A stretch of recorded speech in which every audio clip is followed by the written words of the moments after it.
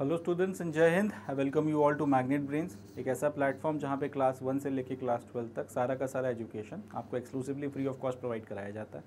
मतलब ये कि यहाँ पर कभी ऐसा नहीं होता कि आपको एक या दो लेक्चर किसी भी सब्जेक्ट या किसी टॉपिक के फ्री ऑफ़ कॉस्ट देखने के लिए मिले। और उसके बाद आपसे ये बोला जाए कि भाई बचे हुए कंटेंट के लिए आपको या तो किसी तरीके की फ़ीस देना पड़ेगी या किसी तरीके का कोई पेड सब्सक्रिप्शन लेना पड़ेगा। ऐसा मैग्नेट ब्रेन्स का कल्चर नहीं है, ऐसा मैग्नेट ब्रेन्स में नहीं होता। मैग्नेट ब्रेन्स प्रतिबद्ध है भाई आप लोगों तक हर तरीके की परिस्थितियों में। अच्छे से अच्छा क्वालिटी कंटेंट लेकर आया लेकर आए, ताकि आप लोगों की पढ़ाई लिखाई, शिक्षा दीक्षा में किसी भी तरीके का कोई व्यवधान ना पड़े, किसी भी तरीके की कोई रोक ना पड़े। एंड आप लोग उस नॉलेज की मदद से ना सिर्फ़ फिर अपने एग्जामिनेशन में अच्छा परफॉर्म कर सकें बट आप लोग अपने करियर्स में भी अच्छा परफॉर्म कर सकें अच्छे अच्छे पोस्ट पर पहुँचें एंड देश की तरक्की और उन्नति में आप लोग कॉन्ट्रीब्यूट करें। तो इसी नोट पर हम लोग अपना आज का सेशन शुरू करते हैं। हम पढ़ रहे थे हिस्ट्री क्लास ट्वेल्थ उसकी दूसरी किताब और उसका पहला चैप्टर, या इस तरह से बोलें कि उसकी थीम नंबर फाइव। इसके बारे में हम लोग अपना बातचीत या अपना डिस्कशन वगैरह कर रहे थे। अब इसमें हम लोगों ने ये देख लिया था कि through the eyes of the traveller हमारे चैप्टर का नाम था, और इसमें हम लोगों ने ये देख लिया था कि जो इब्न बतूता है, वो जब इंडिया आया और उसने यहाँ पर जिन चीज़ों को देखा तो उनको किस तरीके से ऑब्ज़र्व किया, उसके बारे में किस तरह से अपनी राय रखी, और उसकी जो राइटिंग्स हैं, उसमें क्या खास बातें थी किन कैरेक्टरिस्टिक्स को खास तौर पे हाईलाइट किया गया था। ये सारी बातें हम लोगों ने देख ख़त्म करी थी।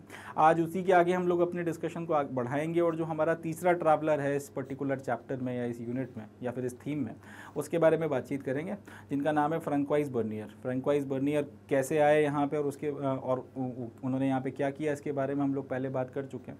अब फ्रंकवाइज बर्नियर ने इंडिया को किस परस्पेक्टिव से देखा, इसके बारे में क्या बातें करी, क्या लिखा पॉजिटिव लिखा नेगेटिव लिखा, वो सारी की सारी बातें हम लोग आज का जो सेशन है इसमें करेंगे। So now without any further do here we begin पहला जो टॉपिक हमारा आज के लेक्चर में रहने वाला है वो है Bernier and the degenerate east अब ये जो डेनिग्रेट वर्ड है, इसको भी इन्वर्टेड कॉमा में लिखा गया है तो इसका पॉइंट इसका सेंस ये बनता है कि जो डेनिग्रेट शब्द है डेनिग्रेट का मतलब होता है किसी को नीचा दिखाना या किसी को कमतर आंकना।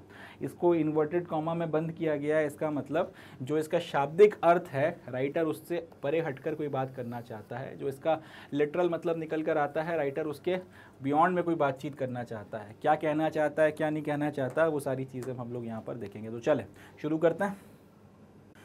तो हम लोगों ने ये देखा था इसके प्रीवियस वाले लेक्चर में कि इब्ने बतूता ने इंडिया जब आए और उन्होंने जब इंडिया को घूमा फिरा और इसमें फिर जो अलग अलग चीज़ें देखी तो उनका जब डिस्क्रिप्शन इब्ने बतूता ने किया था, उसमें उन्होंने हर उस चीज़ का ज़िक्र किया था जिससे वो या तो इम्प्रेस हुए थे या जिसके लिए उनके मन में कुछ एडमायरेशन था, या फिर वो सारी चीज़ें जिससे वो बहुत ज़्यादा एक्साइट हुए किसी वजह से, उसके कारण उन्होंने उस चीज़ का डिस्क्रिप्शन किया। जैसे अपन लोगों ने ये देखा था कि किस तरीके से नारियल के पेड़ का बड़ा शानदार या खूबसूरत सा डिस्क्रिप्शन आपका डिस्क्रिप्शन आपको देखने के लिए इब्ने बतूता की राइटिंग में मिलता है। वजह यह थी कि इब्ने बतूता ने अपनी ज़िंदगी में कभी नारियल के पेड़ नहीं देखे थे। तो उनका एक बड़ा फैसिनेशन सा उनके दिमाग में आया और उन्होंने उसके बेसिस पर उसका एक बहुत बढ़िया डिस्क्रिप्शन जो है आपको किया अब वो व्यक्ति जिसने ज़िंदगी भर नारियल के पेड़ देखे हैं और नारियल के पेड़ देखता हुआ बड़ा हुआ है उसको हो सकता है लगेगा कि यार ये क्या बात है तो, तो बहुत नॉर्मल सी चीज़ है। मगर ऐसा इंसान जिसने कभी ज़िंदगी में नारियल के पेड़ नहीं देखे थे उसका वो जो एक बच्चों वाला एक वो होता है कि आपका एक आकर्षण आ जाता है किसी चीज़ के लिए एक फैसिनेशन आ जाता है उस तरीके से जो एक बड़ा शानदार और खूबसूरत सा डिस्क्रिप्शन इब्ने बतूता ने किया था उसको बहुत अच्छा उससे हमको ये समझ में आता है कि बेसिकली उन्होंने हर वो चीज़ जिससे वो इम्प्रेस हुए जिससे वो एक्साइटेड हुए जिससे वो एस्टोनिश हुए, उसको उन्होंने बहुत अच्छे से एडमायरेशन के साथ में जो है लिखा था। इसी के कॉन्ट्रास्ट में हमारे जो फ्रेंकवाइज बर्नियर साहब थे, जब ये हिंदुस्तान आए तो इनको जब हम लोग देखते हैं, इन्होंने जो आपकी राइटिंग्स वगैरह लिखी हैं, वो इब्ने बतूता या फिर फॉर दैट मैटर अगर अल बरूनी से भी कंपेयर की जाए तो ऑल टुगेदर अलग हैं। इनकी जो कैटेगरी है, वो एक अलग है, या फिर इसको इस तरह से बोल सकते हैं कि एक अलग तरीके के इंटेलेक्चुअल ट्रेडिशन से आते थे, या फिर एक अलग तरीके के माइंड के साथ में, एक थॉट प्रोसेस के साथ में ये हिंदुस्तान का डिस्क्रिप्शन करते थे। He was more preoccupied with comparing and and contrasting what he saw in India with the situation in Europe in general and France in particular focusing on situation which he considered depressing. अब इसके पहले क्या हो रहा था? Ibn Battuta जब आए, उन्होंने अगर यहाँ पे कोई ऐसी चीज़ देखी जो उनके लिए नहीं है तो हो सकता है उन्होंने एक पैरेलल ड्रॉ करने की कोशिश करी हो, मगर कभी उन्होंने हिंदुस्तान का जो कल्चर है, उसको डेनिग्रेड नहीं किया या फिर वो जहाँ से आए थे, उसके कल्चर को एकदम सुपर ऐसा नहीं बताया कि बड़ा शानदार और बहुत अच्छा वाला कल्चर है। अब जैसे उनको आपका वही अपना जो एग्ज़ाम्पल है कोकोनट ट्री का अगर हम लेकर चलें, अब जब कोकोनट वगैरह देखा, जब आपने नारियल के पेड़ देखे तो उसको जब डिस्क्राइब करना शुरू किया तो उन्होंने एक पैरेलल ड्रॉ किया कि यार अपने यहाँ जो खजूर के पेड़ होते हैं ये लगभग लगभग कुछ वैसा ही है, बस इसका जो ये आपका नट निकल कर आता है, जिससे कोकोनट बोला जा रहा है या नारियल बोला जा रहा है, ये बहुत बड़ा होता है। बाकी अपने खजूर तो छोटे छोटे होते हैं, इस तरीके से उन्होंने उसका डिस्क्रिप्शन वगैरह दिया है। यहाँ पर ना वो ये बोल रहे हैं कि अपना खजूर का पेड़ बढ़िया है, ना वो ये बोल रहे हैं कि नारियल का पेड़ खराब है। मगर तो वो कुल मिला एक अच्छा एडमायरेशन के पॉइंट ऑफ़ व्यू से कंपेयर कर रहे हैं। फ्रेंकवाइज बर्नियर की कहानी ऑल टुगेदर अलग थी, ये भाई ये कर रहे थे, ये हिंदुस्तान में हर एक चीज़ को जो है, यूरोप के साथ में कंपेयर कर रहे थे इन जनरल कि यार अपने यहाँ पर तो ऐसा हो रहा है बट अपने यूरोप में तो ऐसा ऐसा चलता है, इस तरीके से। और फ्रांस इन पर्टिकुलर और अपने फ्रांस में अगर आप जब आप बात इसी चीज़ को कंपेयर करोगे तो और ज़्यादा अच्छा है, इस तरीके से। यानी कि हिंदुस्तान में हर जो चीज़ देखी जा रही है, अगर आपने हिंदुस्तान में कोई एक चीज़ देखी जिसका नाम है ए तो आप उसे यूरोप के किसी एक्स के साथ में कंपेयर करोगे और आपका इन पर्टिकुलर फ्रांस के किसी वाई के साथ में कंपेयर करोगे। कुल मिला हिंदुस्तान की हर चीज़ जो है यूरोप के साथ इन जनरल और फ्रांस के साथ इन पर्टिकुलर जो है कंपेयर की जा रही थी। और हर बार ये बंदा एक ही चीज़ कर रहा था कि फ्रांस के या फिर आपका जो यूरोप है, उसके कल्चर को ज़्यादा आप इस तरीके से दिखा रहे हो कि यार वो बड़ा सुपर कल्चर है, इस तरीके से। यहाँ से यूरोपियंस की जो एक नस्लीय श्रेष्ठता की भावना है, वो अपने को समझ में आती है कि यूरोपियंस में रेशियल सुपीरियोरिटी अभी की, या ऐसा नहीं था कि जब वो लोग यहाँ पे आके कब्जा करके बैठ गए, तब आई। इनके दिमाग में नस्लीय श्रेष्ठता या जो रेशियल सुपीरियोरिटी है, वो बहुत पहले से भरी हुई थी और ये बाकी लोगों को अपने से कमतर समझते थे। वो चीज़ यहाँ यहाँ पे दिखती थी। हिंदुस्तान की हर वो चीज़ जो इनको, जिसको इन्होंने गंदा समझा, गलत समझा, ऐसा समझा कि डिप्रेसिंग है, खराब है, उस चीज़ को खासतौर पर हाईलाइट किया गया। उसी पर्टिकुलर चीज़ को यूरोप और फ्रांस के साथ में कंपेयर करके ये बस हर जगह ये साबित करने की कोशिश की गई है कि यूरोप या फ्रांस का जो कल्चर है, वो ज़्यादा अच्छा है या ज़्यादा इफ़ेक्टिव है इस तरीके से। His idea seem to have been to influence policy makers and the intelligentsia to ensure that they they made what he consider to be the right decision अब यहाँ पर ये बार बार कंपैरिजन करने का शायद ऑब्जेक्टिव ये निकल कर आता है कि जो इनकी किताबों को पढ़ें, चाहे इंडिया में पढ़ें या बाहर पढ़ें, वो ये, वो बेसिकली इनके सारी बातों को और इनके कंपैरिजन को पढ़कर वो फैसला लें जो इनको लगता है कि सही है और लिया जाना चाहिए, क्योंकि इन्होंने कंपैरिजन के बाद में ये भी बताया है कि यहाँ पर इन लोगों को हिंदुस्तान में ऐसा ऐसा करना चाहिए या यूरोप वालों को और ज़्यादा ऐसी ऐसी चीज़ें करनी चाहिए तो इससे ज़्यादा बेटर रहेगा। इस तरीके के कंपैरिजन के साथ साथ इन्होंने अपनी तरफ़ से कुछ ऐसे सो कॉल्ड राइट डिसीज़न भी दिए हैं, जो इनको लगता है कि सही थे। तो इस तरीके की चीज़ें जो है आपको इनकी राइटिंग्स में देखने के लिए मिलती हैं कि कि जब इनको पढ़ते हैं और जब हर जगह हिंदुस्तान की, यूरोप और फ्रांस के साथ कंपेरिजन और हिंदुस्तान को नीचा दिखाने की जो कोशिश है, उससे एक बात समझ में आती है कि बंदा बेसिकली कर ये रहा है कि जो पॉलिसी मेकर्स हैं, वो इसकी बातों को पढ़कर और या फिर इंटेलिजेंस या इसकी बातों को पढ़कर वो कदम उठाएँ जो इसको लगता है कि सही है या फिर उठाए जाने चाहिए। कुल मिला के आप इस तरह से कह सकते हो रेशियल सिक्योरिटी जो है साफ़ सुथरी क्लियर कट आपको यहाँ पर नज़र आती है। चलें, आगे बढ़ते हैं। तो बर्नियर के ट्रैवलर्स के बर्नियर ने जो भी आपके ट्रैवल्स वगैरह किए हैं, मुगल अंपायर के टाइम पीरियड में फ्रेंकवाइज बर्नियर जो हिंदुस्तान में घूमा है, उसके उसमें एक आपको क्लियर कट जो चीज़ समझ में आती है, वो है कि डिटेल्ड ऑब्जर्वेशन इसने किया है हर जगह पर इसके अलावा इसका जो इंसाइट है वो क्रिटिकल है और हर जगह इसकी जो एक आपका सुपीरियोरिटी का जो कॉम्प्लेक्स है यूरोपियन सुपीरियोरिटी का जो कॉम्प्लेक्स है वो आपको दिखता है। ये एक चीज़ आपको फ्रेंकवाइज बर्नियर में दिखेगी जो अल बरूनी है, अपने बतूता में नहीं दिखती। वो लोग भी चीज़ों को डिटेल में ऑब्ज़र्व कर रहे थे, वो आपका घूम फिर रहे थे, मगर वो क्रिटिकल इंसाइट्स नहीं देते फिर रहे थे। वो कोट अनकोट सुधार की बात नहीं कर रहे थे, वो सिर्फ़ चीज़ों को देख रहे थे एडमायर एडमायर कर रहे थे, और थोड़ा बहुत अगर समझने के पॉइंट ऑफ़ व्यू से पैरल ड्रॉ करते थे उन कल्चर्स के साथ जहाँ से वोट कर आए। ये भाई क्या कर रहा है? क्रिटिकली डिटेल में ऑब्ज़र्व ये भी कर रहा है। क्रिटिकल इंसाइट दे रहा है, और इसके अलावा एक जो इंपॉर्टेंट काम ये कर रहा है, वो ये है कि ये हर जगह कोट अनकोट सुपीरियोरिटी जो है वो थोपना चाहता है यूरोपियन कल्चर वगैरह की। His accounts contain discussions trying to place the history of Mughals within some sort of universal framework अब ये भी एक इंटरेस्टिंग चीज़ है कि इनका जो ये पूरा का पूरा आपका अकाउंट्स है, इसमें हिस्ट्री को इस तरीके से डिस्क्राइब किया गया है या मुगल्स की हिस्ट्री को इस तरीके से डिस्क्राइब किया गया है कि उस वक्त में जो आपका यूनिवर्सल फ्रेमवर्क है, उसमें इनको फिट किया जा सके। यानी कि मुगल उस वक्त में रूल कर रहे हैं, जिस वक्त में यूरोप में ये फलानी चीज़ें चल रही हैं या फिर आपका फ्रांस में ये राजा बैठे हैं इधर ये राजा बैठे हैं, उधर वो राजा बैठे हैं। मतलब इनको आपका जो दूसरे कॉन्टिनेंट के जो आपके प्रोमिनेंट अंपायर्स वगैरह उनके समकालीन दिखाने की कोशिश की गई है या फिर मुगलों का टाइम पीरियड अभी आया हुआ है। जिस वक्त में यूरोप में जो है, ये राजा जा चुका है या फिर फलाने फलाने आने वाले हैं, इस तरीके से इनको एक आपका वर्ल्ड हिस्ट्री जो है, उसमें फिट करने की कोशिश की गई है। और फिर वही बात जो मैं आपको बता रहा था he constantly compared Mughal India with contemporary Europe generally emphasising the superiority of the latter ये लगातार हर जगह मुगल इंडिया या फिर हिंदुस्तान जो मुगलों के टाइम पीरियड में था, उसको उस वक्त का जो समकालीन या फिर जो कंटेम्प्ररी यूरोप है, उसके साथ में लगातार ये कंपेयर करते चले जा रहे हैं। और एक ही बात पे एम्फेसिस की यूरोपियन सुपीरियोरिटी है। यूरोप जो है, वो सुपीरियर है इंडिया जो है कमतर। है इस बात को बार बार दिखाने की कोशिश हो रही है। His representation of India works on the model of binary opposition where India is presented as the inverse of Europe ये एक इंटरेस्टिंग बात है, इसको समझना ज़रूरी है। जैसे दिन है तो दिन का अपोजिट क्या होता है? रात।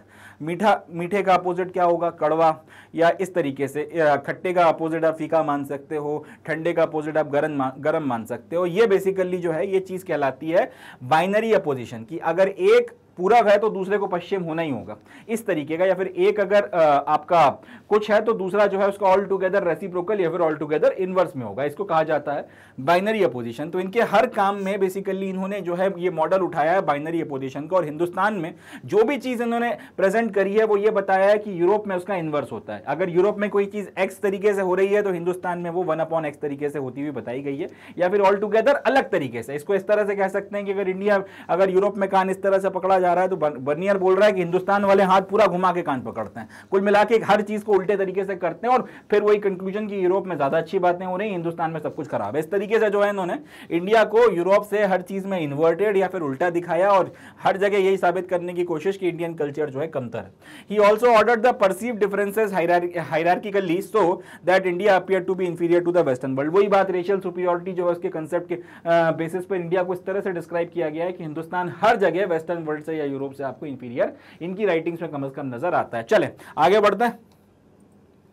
अब जो नेक्स्ट अपना टॉपिक आता है, उसका नाम है the question of land ownership land ownership का मतलब क्या है? अगर ज़मीन है और ज़मीन के ऊपर आपका मालिकाना हक है तो उसके लिए ओनरशिप वर्ड का इस्तेमाल किया जाता है। आप अगर किसी ज़मीन के मालिक हैं तो लैंड ओनर बोला जाएगा आपको और उसी से फिर ये शब्द निकल कर आता है लैंड ओनरशिप यानी कि ज़मीन के ऊपर आपका मालिकाना हक होना। अब ये जो क्वेश्चन ऑफ़ लैंड ओनरशिप है, इसमें बर्नियर ने एक बड़ी इंटरेस्टिंग चीज़ को उठाया, जो इसके बाद कई सारे आपके ट्रैवलर्स ने भी फिर जो है डिस्क्राइब करी थी, उसके बारे में हम लोग बातचीत करेंगे। इस पर्टिकुलर सवाल के ऊपर बर्नियर का जो क्रिटिसिज्म है वो वैलिड है। बाकी जगहों पर आप कह सकते हो ये सुपीरियोरिटी से ग्रसित है, मगर यहाँ पे इसके क्रिटिसिज्म को बहुत आप हम लोग रैशनली अगर एनालिसिस करें तो समझ में आता है इसकी बात में दम तो था। कैसे देखते हैं? According to Bernier one of the fundamental differences between Mughal India and Europe was the lack of private property in land in the former important है, ध्यान से सुनिएगा। बर्नियर ने क्या बोला? जो एक फंडामेंटल डिफरेंस आपको मुगल इंडिया में, यानी कि मुगलों के टाइम पीरियड के हिंदुस्तान में, और उसी वक्त आपका जो समकालीन यूरोप उस वक्त था, उसमें जो देखने को बर्नियर को मिला, वो ये था कि इंडिया में प्राइवेट प्रॉपर्टी लोगों के पास में थी नहीं खासतौर पर ज़मीन में। यानी कि ज़मीन के ऊपर लोगों की कोई ओनरशिप नहीं थी, ज़मीन के ऊपर लोगों का कोई मालिकाना हक नहीं था। He was a firm believer in the virtues of private property and saw crown ownership of land as being harmful for both the states and its people क्या बोला इसने कि भाई मुगलों का जो ये हिंदुस्तान है और उसमें और यूरोप में जो बेसिक फ़र्क है वो ये है कि मुगलों के हिंदुस्तान में या इंडिया में लोगों के पास में ज़मीन के ऊपर मालिकाना हक नहीं है। यहाँ पर कहानी क्या है? सारी की सारी ज़मीन जो है वो बादशाह की है। ठीक है जी? सारी की सारी ज़मीन बादशाह की और वो उसका जो करना चाहे, जिसको देना चाहे वो कर सकता है। यूरोप में ये बात नहीं थी। और यूरोप में आपकी प्राइवेट लैंड ओनरशिप जो है अभी तक डेवलप हो रही थी और उसके होने से क्या फ़ायदा यूरोप में हुआ और उसके ना होने से क्या फ़ायदा हिंदुस्तान, उससे क्या, उसके ना होने से क्या नुकसान हिंदुस्तान को हुआ, वो भी आगे देखेंगे। मगर इनका पॉइंट ऑफ़ व्यू ये था कि ये बिलीव करते थे कि लोगों के पास में प्राइवेट प्रॉपर्टी होनी चाहिए और ये मानते थे कि अगर राजा या फिर आपका जो बादशाहत है या जो क्राउन है, अगर वो सारी की सारी ज़मीन अपने कब्जे में रखेगा और उसके साथ में फिर वो जो करना चाहता है वो करेगा तो ये चीज़ ना सिर्फ़ उस राज्य के लिए हार्मफुल है बट साथ ही साथ उसके लोगों के लिए भी जो है तकलीफदायक है। इनका मानना यह था कि ये मुगल अंपायर में क्योंकि बादशाह जो है वही सारी की सारी ज़मीन का मालिक है और वो इस ज़मीन को करता यह है कि अपने नोबल्स के बीच में डिस्ट्रीब्यूट करता है जागीरें बांट देता है किसी को सौ एकड़ दे दिए, किसी को डेढ़ एकड़ दे दिए, किसी को हज़ार एकड़ दे दिए। इस तरीके से अपने नोबल्स को उसने जागीरें बांट दी। अब ये जो लैंड आपका नोबल्स के बीच में डिस्ट्रीब्यूट हुई है, या होती थी, उसके बारे में आपका बर्नियर कहता है कि भैया इसके बहुत डिजास्टर्स इफ़ेक्ट पड़े। इसने जो है मुगल अंपायर की इकोनॉमी का जो है सत्यानाश कर दिया या बट्टा बैठा के रख दिया। एक तो इकोनॉमी खराब कर दी, साथ ही साथ समाज के ऊपर इसका बहुत ज़्यादा गलत असर पड़ा। बर्नियर ने अपने शब्दों में इस बात को लिखा है। कैसे वो भी हम लोग आगे देखेंगे। मगर यहाँ तक बर्नियर की बात से अपने को एक बात समझ में आती है कि उस वक्त में जमीनों के ऊपर आपका कोई मालिकाना हक नहीं होता था। जैसे आज अपन बोलते हैं कि ज़मीन खरीद लेते हैं प्लॉट ले लेते हैं इस तरीके से तो वो अपनी हो जाएगी। टेक्निकली वो निन्यानवे साल की लीज पर मिलती है आपको, मगर वो रिन्यू होती रहती है। पॉइंट ये है। ज़मीन सारी सरकार की है, मगर आपको मालिकाना हक मिलता है इस तरह से, अगर आपने ज़मीन खरीदी तो आपने निन्यानवे साल की लीज पे उठा ली है। अब उसके बाद में वो रिन्यू होती चली जाएगी तो एक तरीके से वो इन्फाइनेटली उसके ऊपर आपका कब्जा बना रहेगा। तो इस तरह से ज़मीन आप की रहेगी, आप उसके मालिक रहेंगे। कम अज कम इन थ्योरी जो है, आप उसके मालिक हैं। कहने के लिए आप बोल सकते हैं कि आप उसके मालिक हैं। यहाँ पे कहानी ऐसी है इसके टाइम पीरियड में कि इस वक्त में कोई ज़मीन का मालिक होता नहीं है। ज़मीन बादशाह की है। उसने आपको दे दी तो जब तक आ, उसने आपको दे रखी है तब तक आप उसके ऊपर हो आपके पास उसके राइट्स हैं। मगर वो जब चाहे आपसे उस ज़मीन के हक जो है छीन सकता है। इस पर बर्नियर का कहना यह था कि इस तरीके की जो हरकतें बादशाह करते थे कि सारी ज़मीन क्योंकि मुगलों की है मुगल बादशाह की अब जिस नोबल को जितनी ज़मीन देनी है जितनी जागीरें बांटनी है बांट रहा है इसका असर अर्थव्यवस्था पर बहुत बुरा पड़ा। और इसने समाज को तोड़ के रख दिया। कैसे? वो अब हम लोग इसके शब्दों में आगे देखना इनका कहना ये था और, और इसके अलावा ये बात ये ये ये पर्टिकुलर बात जो है सिर्फ़ बर्नियर ने कही वो ऐसा भी नहीं है। इसके जैसे मैंने आपको पहले बताया था कि इसके अलावा और भी जो आपके ट्रैवलर्स वगैरह आए थे उन्होंने भी इसी तरीके के आपके इमोशंस वगैरह को शेयर किया था इसी तरीके की बातें जो है उन लोगों ने भी करी थी। तो this perception was not unique to Bernier but it it is found in most travellers accounts of the sixteen and seventeen century तो ये चीज़ आपको सोलहवीं और सत्रहवीं शताब्दी में जितने भी आपके ट्रैवलर्स आए और ये ऐसा नहीं है कि सिर्फ़ यूरोपियन ट्रैवलर्स हैं, दूसरे भी अगर आए तो उनके अकाउंट्स में आपको ये शिकायत बार बार देखने को मिलती है। लैंड मगर एक बात और और ये इंटरेस्टिंग है कि अगर बादशाह ने किसी नोबल को ज़मीन पास करी है या ज़मीन या जागीरें बांटी हैं तो उस नोबल के पास में फिर ये हक नहीं है कि वो अपने बेटे को या फिर अपने आने वाले जो अपने जो वंशज हैं, उनको वो प्रॉपर्टी वगैरह पास ऑन कर दे। तो लैंड होल्डर जो है they could not pass on their land to their childrens ये इंपॉर्टेंट बात है कि अगर आपने किसी को जागीर बांटी है तो आप उसका मालिकाना हक या फिर आप अपने बाद उसके, उसको जो ये, आपको जो हक दिया गया, वो अपने बच्चों को नहीं दे सकते थे। इससे होता यह था कि आपको पता था कि यार ये ज़मीन सिर्फ़ कुछ ही वक्त के लिए अपनी है। अपने आने वाले बच्चों को आप दे नहीं सकते हो इस ज़मीन को। तो इससे हुआ यह कि आप उस ज़मीन से जितना हो सके उतना पैसा एक्सट्रैक्ट करने की कोशिश करते थे, उसमें लॉन्ग टर्म इन्वेस्टमेंट नहीं करते थे कि उस ज़मीन को सस्टेन किया जा सके, उसके प्रोडक्शन को बढ़ाया जा सके, उसमें और इंप्रूवमेंट लाया जा सके, इससे कि लोगों का भला हो। आप इसमें नहीं लगे आपको पता है कि कुछ सालों के लिए है, उसके बाद में बादशाह वापस छीन सकता है, फिर किसी और के पास चली जाएगी। वो जाने, उसका काम जाने। तो इससे पहले जितना आप हो सकते हो उतना ज़्यादा इसमें से एक्सट्रैक्ट कर लो। जितना हो सकता है, आप उसमें से उतना ज़्यादा निकाल लो। तो इस पर्टिकुलर माइंडसेट के कारण एग्रीकल्चर में जो है, लोगों ने इन्वेस्ट करना लगभग लगभग बंद कर दिया। नतीजा ये निकला, आपकी इकोनॉमी बढ़ गई। सोसाइटी का जो सत्यानाश होना था, वो हुआ ही हुआ, मगर आपकी इकोनॉमी जो है, वो बैठना शुरू हो गई और एग्रीकल्चर में आपको डिस्ट्रेस यहाँ से देखने को मिलने लगा, जिसने फिर आगे अपने बहुत भयानक रूप या रंग दिखाए थे। उसके बारे में भी हम लोग बातचीत आगे करेंगे। तो जो, क्योंकि अब प्राइवेट प्रॉपर्टी की एब्सेंस है अब क्योंकि लोगों के हाथ में अपनी खुद की प्रॉपर्टी नहीं है। सारी ज़मीन बादशाह की है और आप सिर्फ़ जो है किराएदार की तरह या टेनेंट की तरह कुछ वक्त के लिए हो। जब उसका मन आए वो आपको उखाड़ के फेंक सकता है और अगर नहीं भी उसका मन आया, आप मरमरा गए तो उसके बाद में फिर आपकी औलादे जो है, उनकी ओनरशिप उस ज़मीन के ऊपर नहीं है। इस चक्कर में हुआ यह कि लोगों ने जितना हो सके उतना ज़्यादा एक्सट्रैक्ट करने की कोशिश करी। इसी के जगह यूरोप में अब कहानी यह थी कि लोग जो है, वो जमीनों का मालिकाना हक रख सकते थे और वो अपने बच्चों को वो प्रॉपर्टी हस्तांतरित कर सकते थे। नतीजा ये निकला, लोगों ने उस ज़मीन में इन्वेस्टमेंट किया उसको इंप्रूवमेंट करने की कोशिश करी, उसमें उसमें प्रोडक्शन बढ़ाने की कोशिश करी और इसके चलते यूरोप में प्रोस्पेरिटी या फिर डेवलपमेंट वगैरह आपको देखने को मिलता है। ये बेसिकली वो टाइम पीरियड है जिसमें, जिसको हम लोग पुनर्जागरण का काल भी बोलते हैं। रेनेसांस का जो टाइम पीरियड था यूरोप में, ये सारी चीज़ें एक ही वक्त में हो रही थी। आप इस तरह से कह सकते हो यूरोप के लिए सब कुछ ठीक चल रहा था या कम अज कम मैक्सिमम चीज़ें ठीक चल रही थी। इंडियन सब कॉन्टिनेंट या एशिया की बात की जाए तो हमारी डार्क एजेस वगैरह शायद शुरू हो रही थी। इस तरीके से आप कह सकते हो। तो पॉइंट यह है the absence of private property in the land had therefore prevented the emergence of the class of improving landlords as in western Europe with a concern to maintain and improve the land क्योंकि ज़मीन अपनी है नहीं, कुछ वक्त के बाद में चली जाएगी, इसलिए ये ज़मीन जब तक अपने पास है, इसके मालिकाना हक में इसमें से पैसा निकालो। ये थॉट प्रोसेस था और वो जो आपका, ये थॉट प्रोसेस की नहीं यार, इसमें पैसा लगाते हैं और इन्वेस्टमेंट करते हैं प्रोडक्टिविटी बढ़ाते हैं, वो वो हुआ नहीं तो इस चक्कर में आपकी लैंड उसकी प्रोडक्टिविटी उसमें कोई इंप्रूवमेंट आपको देखने के लिए नहीं मिलता।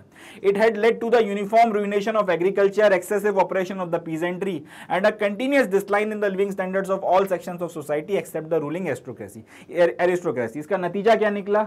इसके चलते आपका जो एग्रीकल्चर है, आपकी जो कृषि की व्यवस्था है, वो बर्बाद होकर रह गई और स्टैग्नेट हो गई।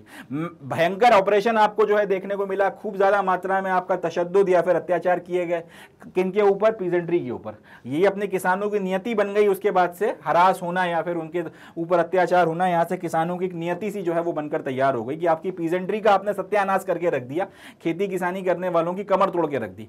लगातार आपके लोग जितने भी थे, हर सेक्शन ऑफ़ सोसाइटी जो, क्योंकि हिंदुस्तान एक आपका एग्रीकल्चर बेस्ड कंट्री है, कृषि प्रधान देश है। अगर एग्रीकल्चर खराब होगा तो समाज का हर तबके पे असर पड़ेगा। ये उसी तरह से है आपके पूरे शरीर की सबसे रेलेवेंट या इंपॉर्टेंट चीज़ जो है वो आपका मस्तिष्क है। अगर किसी ने आपका सर काट दिया तो धड़ आपका सस्टेन कर ही नहीं सकता। अगर हाथ काट दिया तो आदमी फिर भी बच जाएगा, पैर काट दिया तो फिर भी बच जाएगा। अगर उसका शरीर काट के अलग कर दिया तो बॉडी गिर जाएगी और खेल खत्म है। लगभग उसी तरीके की कहानी है एग्रीकल्चर के साथ में। हिंदुस्तान की इकोनॉमी की आप बात कर लोगे। इस टाइम पीरियड में या फॉर दैट मैटर अभी भी तो हिंदुस्तान की इकोनॉमी में एग्रीकल्चर उसका सर है, या उसका अगर वो कट गया तो फिर बाकी सारा जो धड़ है या इकोनॉमी है वो बैठ जाएगी। वही चीज़ यहाँ पर देखने को मिली, क्योंकि एग्रीकल्चर का सत्यानाश कर दिया आपने किसानों के ऊपर हंटर चलाए जा रहे हो ऑपरेशन और तशद जो है बड़े लेवल पर हो रहा है। नतीजा ये निकला आपकी एग्रीकल आपकी जो एग्रीकल्चर खराब हुआ। एग्रीकल्चर खराब होने के कारण जितने सेक्टर उसके साथ में जुड़े हुए थे, वो खराब हो गए। उसके नतीजे में आपको जो लिविंग स्टैंडर्ड था लोगों का, वो जो है समाज के हर सेक्शन का लिविंग स्टैंडर्ड खराब होता चला गया। बस एक एक्सेप्शन के साथ में वो था रूलिंग एरिस्टोक्रेसी जो आपके अमीर उमराव थे, जो ये अत्याचार कर रहे थे, एक उनकी जेबें भरी रही, उनकी जो पेट भरे रहे, उनके जो है ज़िंदगी ठीक चलती रही। बाकी सब लोगों का सत्यानाश होना शुरू हो गया और ये चीज़ जो है धीरे धीरे धीरे धीरे धीरे धीरे करते करते हमारी कृषि व्यवस्था को इतना खराब कर गई कि हम 200-400 साल बाद भी उससे निकल नहीं पा रहे हैं। आज़ादी के 70-75 साल हो गए, इतना कुछ किया गया किसानों के लिए। चीज़ें ठीक हो ही नहीं रही हैं उस लेवल तक, जिस लेवल तक हम करना चाहते हैं। बहुत कुछ बदला है no doubt about that but फिर भी जो किसानी ठीक हो ही नहीं पा रही है, किसानों की स्थिति, आप जो चाहते हो कि चीज़ें ठीक हो जाए, किसान प्रॉस्पेरस हो, वो इसलिए नहीं हो पा रहा क्योंकि ये एक दिन या दो दिन में बात नहीं हुई है। आपके कम अज कम सन सौ, पंद्रह सौ के बाद से जितने लोग आए सबने अपने अपने योगदान दिए हैं हिंदुस्तान का बेड़ा बैठाने में या बेड़ा गर्क करने में एग्रीकल्चर के पॉइंट ऑफ़ व्यू से। उससे हम लोग आज तक निकल नहीं पाए। चलें, आगे बढ़ते हैं। चलें। अब इसी वक्त में जो हम लोगों ने बातचीत करी है, इस वक्त में जो ट्रैवलर्स वगैरह थे इन्होंने इसके बारे में क्या बातचीत करी है, या फिर इन्होंने उसके बारे में किस तरह से डिस्क्रिप्शन किया है, अब हम उसके बारे में थोड़ा डिस्कशन करते हैं। एक आपको ब्लॉग दिया गया एन में, जिसकी हेडिंग है वाइट वाइट स्प्रेड पावर्टी इसमें आपको ये बताया गया है कि इस टाइम पीरियड में जो दूसरे आपके ट्रैवलर्स आए थे बर्नियर ने जो बोला, वो तो बोला ही बोला. इसके अलावा जो दूसरे आपके ट्रैवलर्स आए थे, उन्होंने इंडिया की इस वक्त की परिस्थितियों को कैसे डिस्क्राइब किया, उस पर एक छोटा सा ब्लॉग है, वो हम लोग पहले डिस्कस करते हैं, फिर आगे बढ़ेंगे. तो पेल्सायट नाम का एक डच ट्रैवलर था, वो सब कॉन्टिनेंट में आया था सेवनटीन सेंचुरी के अर्लियर डिकेट्स में। सेवनटीन सेंचुरी का मतलब क्या? 1601 से लेकर 1699 या 1700 के बीच का टाइम पीरियड इसके अर्ली डिकेट्स का मतलब 1610 हो गया 1620 हो गया या 1630 तक का जो टाइम पीरियड है, ये अर्ली डिकेट्स माने जा सकते हैं। इस टाइम पीरियड में पेल्सायट नाम का एक डच ट्रैवलर इंडिया में आया या इंडियन सब कॉन्टिनेंट में आया था। जिस तरीके से बर्नियर इस बात को लेकर शौक में था कि यहाँ पे प्राइवेट प्रॉपर्टी जैसी कोई चीज़ नहीं होती, उसी तरह से पेल्साइड ने भी इस चीज़ को देखा और वो भी इस बात को लेकर बड़ा शौक हुआ कि यहाँ पर प्राइवेट प्रॉपर्टी जैसी कोई चीज़ नहीं है और यहाँ पे गरीबी कितनी ज़्यादा है। तो ये आपका पावर्टी के ऊपर डिस्क्रिप्शन करता है। ये ये पावर्टी के ऊपर बोलता है कि poverty so great and miserable that the life of the people can be depicted or accurately describe only as the home of stark want and dwelling places of bitter वो मतलब ये कि यहाँ पर इतनी इतनी ज़्यादा गरीबी है, इतनी ज़्यादा गरीबी है कि लोग बाग दो जून की रोटी के लिए इधर से उधर मारे मारे फिर रहे हैं और बुरी इनकी परिस्थिति वगैरह holding the state responsible he says so much is wrung from the peasant that even dry bread is scarcely left to fill their stomachs अब आगे ये स्टेट के बारे में बोलते हैं कि किसानों की जो इतनी बुरी हालत है और गरीबी जो इतनी ज़्यादा उसकी वजह यह है, यहाँ पर टैक्स इतना लगाया गया है कि किसान से सब कुछ छीन लिया जाता है और उसके बाद में उसके पास में सूखी रोटी भी बच जाए तो भी बहुत बड़ी बात है। इतना ज़्यादा जो है मात्रा में आप इनसे सामान वगैरह छीन रहे हो। तो पेल्साइट नाम का एक जो आपका डस्ट ट्रैवलर है, इसके इस अकाउंट को यहाँ पे शामिल करने की वजह यह है कि अपन ने देख रखा है कि बर्नियर जो है हर जगह पर यूरोपियन से हिंदुस्तान को कमतर आंक रहा था। तो इसलिए दूसरे आपके जो ट्रैवलर्स यूरोप से आए थे सब इस तरह से नहीं होते हैं। कुछ लोग आपके रैशनल रैशनली भी चीज़ों को एनालाइज कर रहे हैं। अब अगर सब एक ही तरीके की कॉमन बात कर रहे हैं, कुछ बातों को लेकर तो उनमें कम से कम सच्चाई मानी जा सकती है, उसमें एक्सग्रेशन नहीं माना जा सकता। इस बात को दिखाने के लिए पेल्साइड का जो अकाउंट है, यहाँ पे शेयर किया गया है कि कम से कम बर्नियर की इस बात में बहुत तगड़ी सच्चाई है। हिंदुस्तान में खेती किसानी की हालत ठीक नहीं थी और जो आपके कुछ आपके एरिस्टोक्रेट क्लास वाले लोग थे, ये भाई लोग या ये लड़के, आपका बाकी सारे लोगों का बुरी तरीके से शोषण वगैरह कर रहे थे और उसके चक्कर में किसानों की स्थिति इंस्पाइट ऑफ़ द फैक्ट कि वो हिंदुस्तान की इकोनॉमी में बड़ा कंट्रीब्यूशन करता था, बहुत ज़्यादा खराब थी या कम से कम उतनी ठीक नहीं थी जितना होनी चाहिए थी। चले, आगे बढ़ते हैं।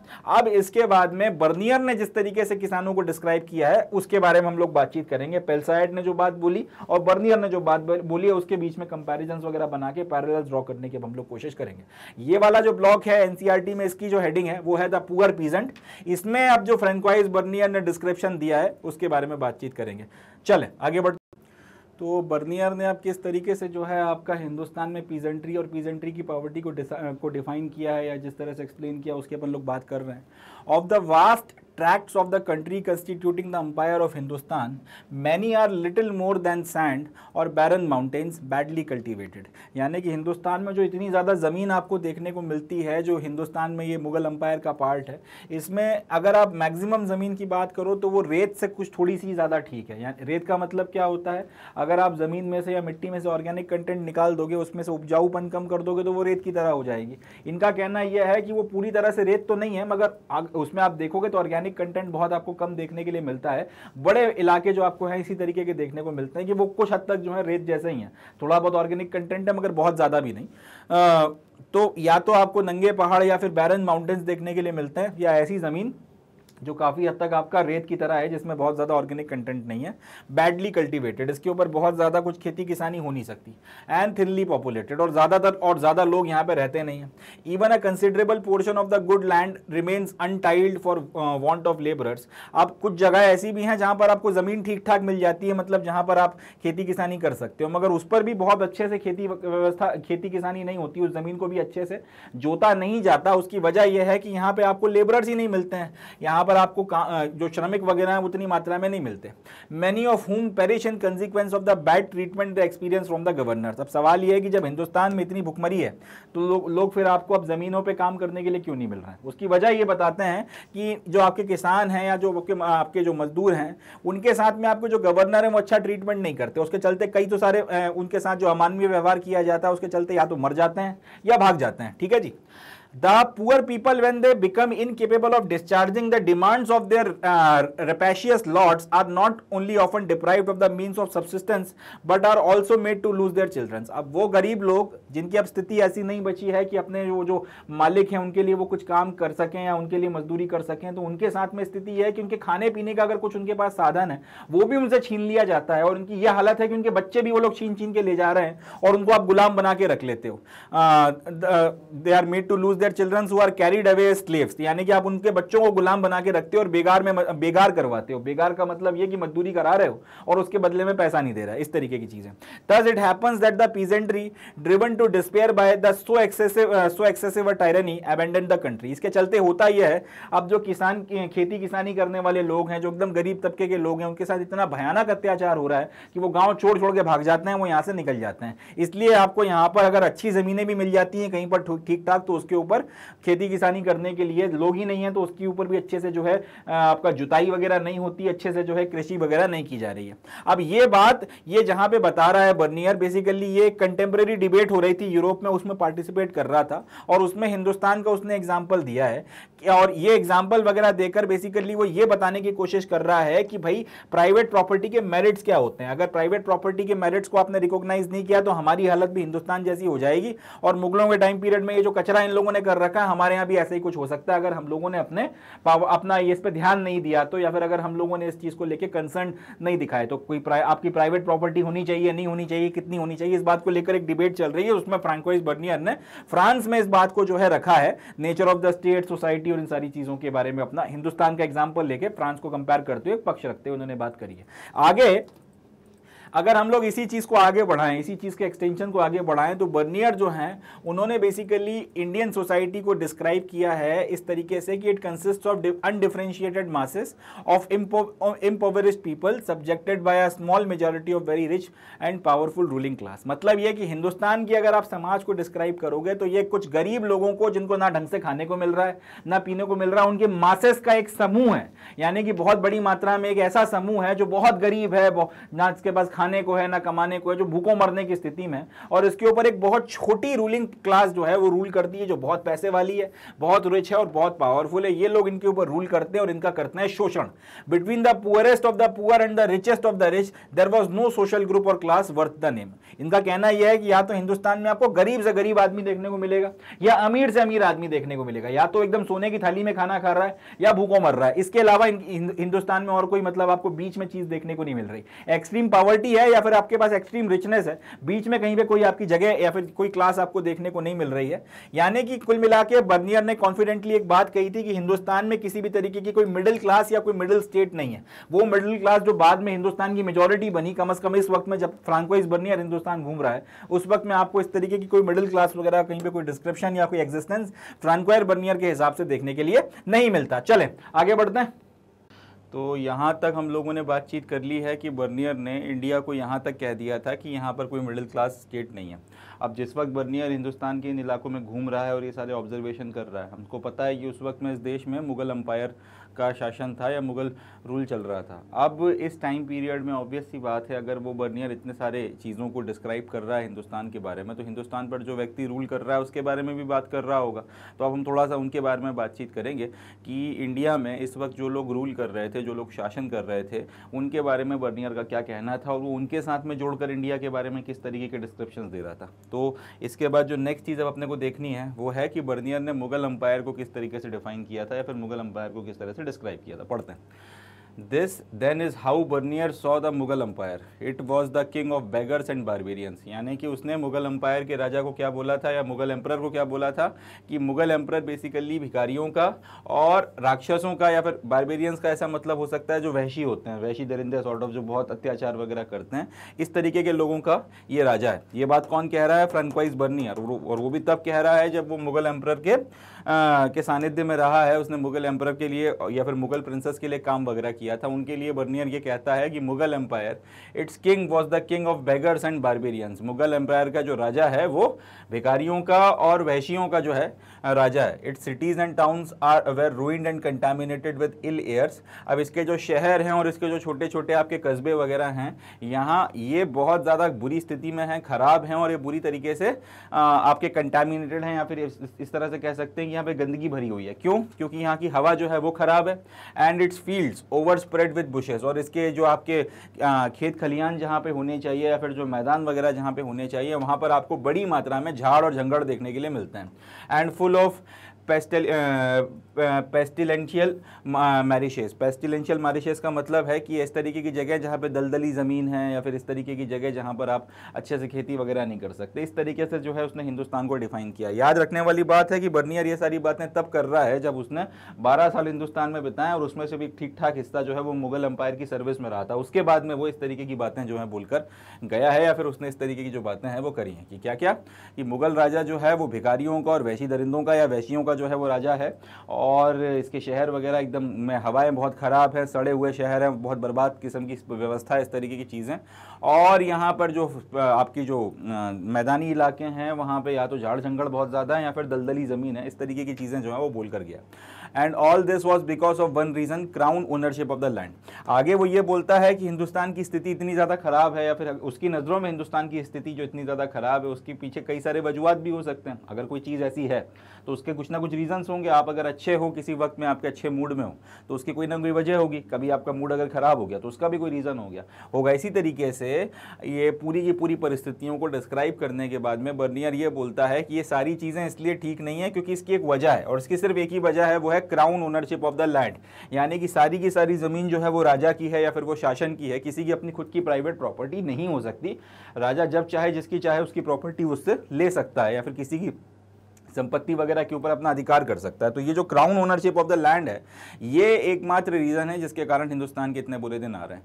Curiously none of the Mughal official document suggest that the state was the sole owner of the land मगर अब मज़े की बात ये निकल कर आती है कि किसी भी इस वक्त के मुगल डॉक्यूमेंट में अगर आप देखोगे तो आपको ऐसा कहीं लिखा हुआ नहीं मिलता कि ज़मीन का एकमात्र ओनर जो है, वो आपका स्टेट है या फिर आपका इस तरह से कह सकते हैं कि आपका प्रशासन है। ऐसा कहीं भी मुगल डॉक्यूमेंट्स में नहीं लिखा। और बर्नियर क्या कह रहा है कि हिंदुस्तान की जो दुर्गति हो रही है या फिर हिंदुस्तान जो इतना डेवलपमेंट में पीछे रह गया या उसकी नज़रों में जो डेवलपमेंट यहाँ पे नहीं हो रहा है उसकी वजह क्या है? उसकी वजह है कि सोल ओनरशिप जो है लैंड के ऊपर ओनरशिप जो है वो किसकी है? वो स्टेट की है। स्टेट की अगर ओनरशिप नहीं होती अगर प्राइवेट प्रॉपर्टी की यहाँ पर इजाज़त होती तो इस तरीके की चीज़ें यहाँ पर आपको देखने के लिए नहीं मिलती। अब इसी बात को आगे बढ़ाते हुए आ, ये जो हम लोगों ने देखा है कि आपको कहीं पर जो बर्नियर कह रहा है कि प्राइवेट प्रॉपर्टी किसी के पास नहीं है, सारी ज़मीन राजा की और एक जगह मुगल डॉक्यूमेंट्स में आपको जो चीज़ें देखने को मिल रही हैं।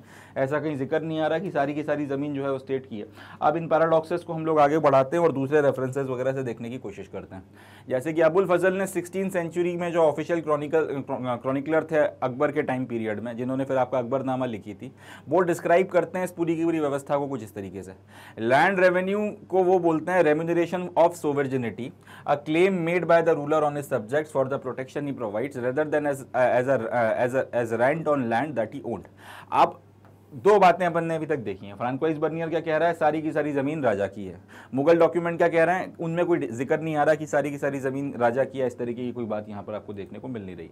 अबुल फजल, जिसने अकबर नामा लिखी थी और जिसने आपके बादशाह का पूरा क्रॉनिकल वगैरह रिकॉर्ड किए थे, हमने किंग्स एंड क्रॉनिकल्स में उसके बारे में पढ़ा भी है, वो क्या बोल रहा है कि जो लैंड रेवेन्यू है, अकबर जो है या फिर जो राजा है, जो आपका या बादशाह जो है, वो जो लैंड रेवेन्यू लेता है किसानों से या लोगों से, वो बेसिकली रेम्यूनरेशन है सोवर्जिनिटी का। मतलब ये कि उसके शासन में, उसके राज्य में रहते हुए, उसके सब्जेक्ट्स वगैरह को वो जो प्रोटेक्शन प्रोवाइड कर रहा है, वो जो हमने अकबर के टाइम में देखा भी था कि आपका जो जान है, आपका जो माल है, आपकी जो नमूस है इन सारी चीज़ों की जो आपकी रक्षा की जा रही है, आपकी जो इन सबको जो बचा के रखा जा रहा है, इन सब के बदले में आपसे बेसिकली वो एक प्रोटेक्शन का टैक्स ले रहा है और ना कि ये उस ज़मीन के ऊपर रेंट मांग रहा है आपसे, वो जो ज़मीन जो है राजा की है। मतलब इस बात को समझना पड़ेगा कि अकबर या फिर जो बादशाह आपसे टैक्स ले रहा है, वो इसलिए नहीं ले रहा कि आप उसकी ज़मीन पे रहते हो या फिर आप उसकी ज़मीन पर रह रहे हो, खेती किसानी कर रहे हो तो उसके बदले में आप उसको टैक्स दे रहे हो और ज़मीन राजा की है बादशाह की ऐसी बात नहीं है।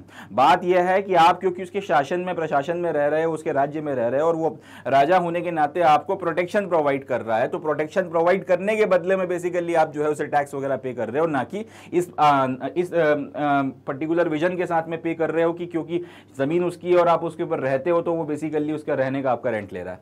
It is possible that European travellers regarded such claims as rent because land revenue demands were often very high अब मगर फिर भी ये जो आपका ये जो आपके यूरोपियन ट्रैवलर्स वगैरह थे, इस तरीके के जो क्लेम्स थे कि आप ये बेसिकली जो टैक्स ले रहे हो रेम्यूनरेशन ऑफ़ सोवर्जनिटी के नाम पर ले रहे हो या फिर इस हजात में ले रहे हो कि बेसिकली आप प्रोटेक्शन दे रहे हो। ये जो आपका पूरा का पूरा टैक्स का क्लेम है यूरोपियन ट्रैवलर्स बेसिकली क्या बोलते थे?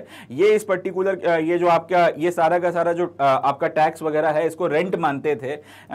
इसकी वजह ये थी कि इस टाइम पीरियड में अगर इनके परस्पेक्टिव से देखा जाए तो लैंड रेवेन्यू काफ़ी ज़्यादा हाई हुआ करता था। बड़ी मात्रा में जो है किसान और बाकी लोग आपका ज़मीन के ऊपर टैक्स वगैरह मुगल अथॉरिटीज़ को दिया करते थे। How this was actually not a rent or even a land tax but a tax on the crop मगर इंपॉर्टेंट बात जो निकल कर आती है वो यह है कि आप भले ही ये बोल रहे हो, बादशाह यहाँ पे ये कह रहा है कि मैं तो प्रोटेक्शन का टैक्स ले रहा हूँ। यूरोपियन ट्रैवलर समझ रहे हैं कि भाई ये, भाई तू ज़मीन के ऊपर टैक्स ले रहा है। मगर पॉइंट ये है कि जो टैक्स है अल्टीमेटली वो ज़मीन के ऊपर नहीं लिया जा रहा था, वो भली प्रोटेक्शन प्रोटेक्शन बोल के लिया जा रहा हो, मगर वो टैक्स लिया किसके ऊपर जाता था? वो टैक्स क्रॉप के ऊपर लिया जाता था। आपकी जो फ़सल जैसी होगी, उसके ऊपर आपसे टैक्स वगैरह लिया जाएगा कि या तो फ़सल जो है उसका वन थर्ड आप हमको दे दो आके, या फिर वन थर्ड को बेचने के बाद जो आपकी कीमत बनती है, उतना आप हमको आकर दे दो, मगर इतना आपको पे करना पड़ेगा। तो बेसिकली ये टैक्स ज़मीन के ऊपर भी नहीं लिया जा रहा है, ये टैक्स इस पे लिया जा रहा है क्रॉप के ऊपर लिया जा रहा है। बादशाह अपनी तरफ़ से उसको ये बोल रहा है कि तुम्हारे प्रोटेक्शन का टैक्स है। और ये भाई लोग जो यूरोपियन ट्रैवलर्स आए ये बोल रहे हैं कि ये, क्योंकि ज़मीन बादशाह की है या राजा की है तो ये उसके ऊपर रहने का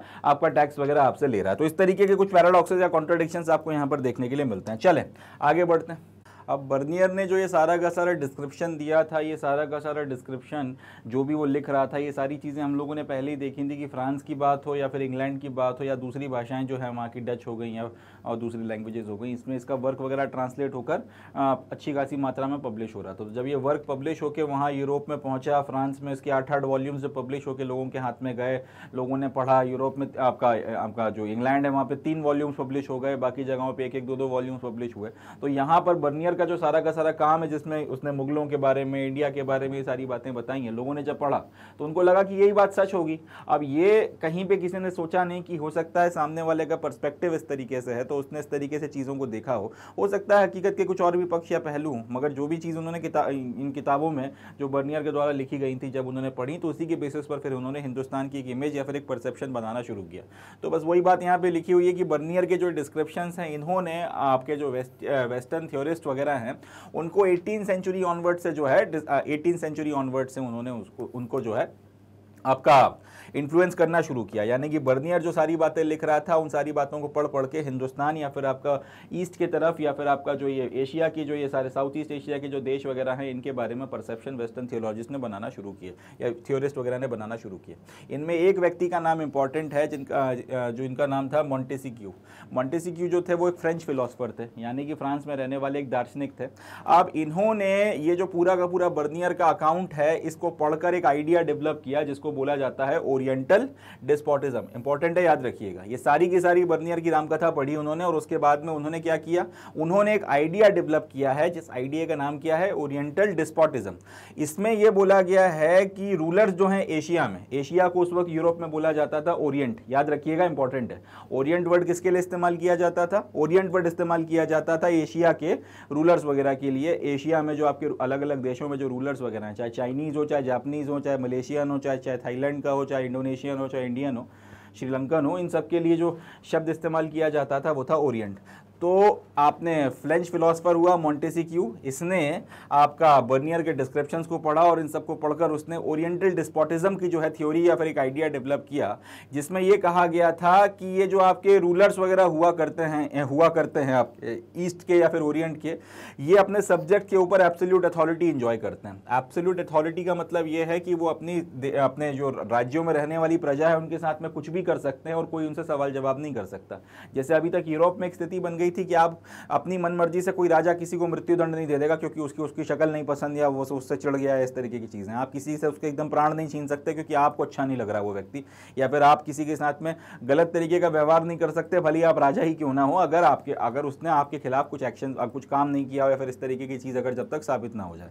ये लोग अब उसके कॉन्ट्राडिक्शन में यहाँ पर क्या देख रहे हैं कि एशिया जो है ओरिएंटल डिस्पोटिज्म के अनुसार यहाँ पर जो आपके जितने भी राजा हैं रूलर्स वगैरह हैं, राजे रजवाड़े हैं, ये लोग अपने सब्जेक्ट्स के ऊपर एब्सोल्यूट अथॉरिटी जो है वो एंजॉय करते हैं। इसका मतलब यह है कि इनके साथ में जो चाहे वो लोग वो कर सकते हैं। आगे ये बोलते हैं who were kept in condition of subjugation and poverty अब यहाँ पर जो आपके राजे रजवाड़े हैं, एक तो अपने सब्जेक्ट्स या फिर अपनी प्रजा के ऊपर एब्सोल्यूट अथॉरिटी जो है वो एंजॉय कर रहे हैं। और इन लोगों को, इन लोगों ने, ये जो आपके राजे रजवाड़े हैं, इन्होंने अपनी प्रजा को कैसे रख रखा है? एकदम दबा के रखा हुआ है और एकदम पावर्टी में, गरीबी में जो है इन लोगों को रखा हुआ है। सब्जुकेशन का मतलब अत्याचार कर रहे हैं, एकदम दबा के रखा गया है और गरीबी में रखा गया है। Arguing that all the land belong to the king and that private property was non existence और यहाँ पर आर्ग्यूमेंट यह है कि जो सारी की सारी ज़मीन है, जिसके ऊपर ये जो प्रजा रहती है, ये सारी की सारी ज़मीन राजा को बिलोंग करती है और प्राइवेट प्रॉपर्टी जैसी कोई चीज़ यहाँ पर एग्जिस्ट नहीं करती। अब बर्नियर ने भी यही बात कही थी कि यार यहाँ पर जो सारी की सारी प्रॉपर्टी है वो राजा की है और बाकी यहाँ पर प्राइवेट प्रॉपर्टी जैसी कोई चीज़ नहीं होती और राजा जो है उस आपका जो ज़मीन है उसके ऊपर रहने के बदले में इन लोगों से टैक्स वगैरह लेता। है उसके बाद फिर अपन ने देखा कि वो बेसिकली ये टैक्स माँगता था कि प्रोटेक्शन दे रहा हूँ मैं आपको उसका और उसके बाद में फिर अपने को ये पता चला कि वो टैक्स क्रॉप के ऊपर होता था। मगर अब ये सारी बातें इन यूरोपियंस को तो पता नहीं थी। उनको तो सिर्फ़ वही पता चला जो बर्दियर ने लिखा था। बर्दियर ने क्या लिख दिया कि राजा यहाँ पर टैक्स वगैरह लेता है ज़मीन के ऊपर रेंट के फॉर्म में जिसपे आपकी प्रजा रहती है। क्योंकि सारी की सारी ज़मीन किसको बिलोंग करती है? सारी की सारी ज़मीन बिलोंग करती है आपके आ, क्या नाम है इनका? राजा को। तो उसी बात के ऊपर ओरिएंटल डिस्पोटिज्म का कंसेप्ट बनाया गया। किसने बनाया? मोन्टीसिक्यू ने बनाया, जो एक फ्रेंच फिलोसफर था। बर्नियर की सारी बातों को या किताबों को पढ़ के। क्या बोला? कि एशिया के जितने राजे रजवाड़े हैं, जितने रूलर्स अब हिंदुस्तान की बात नहीं हो रही, पूरे के पूरे एशिया की बात हो रही है। वो लोग क्या करते हैं? ये अपने सब्जेक्ट्स वगैरह के ऊपर एब्सोल्यूट अथॉरिटी इंजॉय करते हैं। एब्सोल्यूट अथॉरिटी का मतलब क्या? जो चाहेंगे वो कर देंगे, कोई कोई सवाल नहीं पूछ सकता। दूसरा क्या है? अपनी प्रजा को इन लोगों ने कंडीशन एक सब्जुकेशन की कंडीशन में और पावर्टी की कंडीशन सब्जुकेशन में रखा हुआ है। सब्जुकेशन का मतलब क्या? दबा के, और पॉवर्टी का मतलब क्या? गरीबी में रखा हुआ है। और ये लोग क्या बोलते हैं कि भाई तुम जिस ज़मीन पर रह रहे हो, वो राजा की ज़मीन है। और इसलिए आप भला मानो कि राजा आपके साथ में कम अज़ कम इस तरह इतनी रहमी से, इतना नरमी के साथ पेश आ रहे हैं। इस तरीके की चीज़ें हैं और प्राइवेट प्रॉपर्टी जो है एग्जिस्ट नहीं करती। इस पॉइंट ऑफ़ व्यू के अनुसार अगर देखा जाए, या मोन्टेसिक्यू का ये जो आपका ओरिएंटल डिस्पोटिज्म का जो एक कंसेप्ट है, इसके अनुसार अगर देखा जाए तो एम्पर के अलावा और उसके जो नोबल्स वगैरह हैं, उसके जो साथी हैं जो उसके कोर्ट में बैठते हैं, उसके दरबारी वगैरह, या आपके अमीर उमराओं को अगर छोड़ दिया जाए, उनके अलावा बाकी सारे लोग बड़ी मुश्किल से जो हैं, बस जैसे तैसे अपनी ज़िंदगी बचा पा रहे थे बैरली सर्वाइव कर पा रहे थे। इस तरीके की परिस्थिति जो है ओरिएंटल डिस्पोटिज्म ने आपको बना के दिखाई है। चले, आगे बढ़ते हैं। अब ये जो आइडिया था ओरिएंटल डिस्पोटिज्म का कि भाई इस तरीके की परिस्थितियाँ हैं और प्रजा बड़ी मुश्किल से सर्वाइव कर रही है, बस जैसे जैसे ज़िंदा है, बाकी सारे राजे रजवाड़ों और अमीर और जो अमीर है, उनकी मौज है, बाकी सब लोगों की हालत खराब है। इसी आइडिया को कार्ल मार्क्स ने फिर बाद में आगे बढ़ाया। कार्ल मार्क्स बहुत बड़े दार्शनिक रहे हैं, पूरा का पूरा सोशलिज्म का जो कंसेप्ट है, ये उन्हीं की पूरी की पूरी थॉट प्रोसेस जो थी उसके ऊपर डेवलप किया गया है। तो कार्ल मार्क्स ने अब ये पूरी की पूरी चीज़ें जो हैं ओरिएंटल डिस्पोटिज्म का जो कंसेप्ट है, इसको पढ़ा और इसको फर्दर डेवलप किया। इसके बारे में फिर उन्होंने अपने विचार विचार जो हैं, उनको लिखे। और इन विचारों को उन्होंने नाम दिया concept of the Asiatic mode of production by Karl Marx in the nineteen century यानी कि मॉन्टेसिक्यू ने जो सारी की सारी बातें करी थी, उनको पढ़ा गया ओरिएंटल डिस्पोटिज्म को पढ़ पढ़ा के। कार्ल मार्क्स ने अपनी एक थ्योरी आगे रखी, जिसका नाम क्या था? Concept of the Asiatic mode of production यानी कि एशिया में जिस तरीके से प्रोडक्शन होता है, उसके कंसेप्ट वगैरह जो हैं, मैं उनको आपके सामने रख रहा हूँ। कौन? कार्ल मार्क्स और ये सारा का सारा काम कब हुआ है? नाइनटीन सेंचुरी के आसपास में आपको ये काम देखने के लिए मिलता है। इनका कहना यह था कि इंडिया की बात कर ली जाए, या फिर दूसरी एशियन कंडीशन की बात कर ली जाए, जब यहाँ पर कोलोनिज्म नहीं आया था। कोलोनिज्म का मतलब क्या? यूरोपियंस ने जाकर उन देशों पर कब्जा करा और उनको अपनी कॉलोनीज बनाकर उनका शोषण करना शुरू कर दिया। इसको हम लोग बोलते हैं कोलोनिज्म हमारे यहाँ ब्रिटेन आके बैठ गया था या ब्रिटिश आके बैठ गए थे। बाकी अगर आप इंडोनेशिया में देखोगे तो डच आके बढ़ गए थे। इंडो चाइना या वियतनाम में देखोगे तो फ्रेंच आके बढ़ गए थे। ऐसे अलग अलग जगहों पर अलग अलग लोगों ने जो है कब्जा कर रखा था। अफ्रीका के देशों पर फ्रांस ने और इंग्लैंड ने और इन लोगों ने कब्जा किया हुआ था। साउथ अमेरिका में आपको पुर्तगाल और स्पेन ने कब्जा कर लिया था। ये सारी चीज़ें थी तो ये कॉलोनियल कॉलोनिज्म कहलाता। अब इनका कहना यह था कार्ल मार्क्स का कि ये जो एशियाटिक सोसाइटीज़ हैं एशिया के जो देश वगैरह हैं, चाहे इसमें इंडिया आ जाए, चाहे दूसरे देश आ जाए, जिसके ऊपर जाके यूरोपियंस ने कब्जा किया और उनको अपनी कॉलोनीज बनाया। या फिर जब यहाँ पे कोलोनिज्म जब है आया, उसके पहले ये होता था कि जो सरप्लस था आपके क्रॉप्स वगैरह का, यानी कि यहाँ पे जो भी चीज़ें उगाई जा रही हैं, और खासतौर पर यहाँ पे जनरली फ़सल वगैरह जो है होती थी प्रोडक्शन की आपके पास में और ज़्यादा मोड हुआ नहीं करते थे तो आप खेती किसानी करते थे। तो जो सरप्लस वगैरह है, वो आपके स्टेट के द्वारा रख लिया जाता है। मतलब ये कि अगर आपसे, आपने जो भी अनाज वगैरह उगाया, एक होता है कि आप अपनी ज़रूरत के लिए रखते हो, बाकी थोड़ा बहुत आप बेचोगे ताकि और कुछ हाथ में पैसा वगैरह आ जाए, जिससे आपका खर्च चलता रहे। उसके ऊपर और भी अगर आपके पास में एडिशनल पैदावार हुई है तो वो सारी की सारी आपका स्टेट रख लेगा। ये कार्ल मार्क्स का कहना था।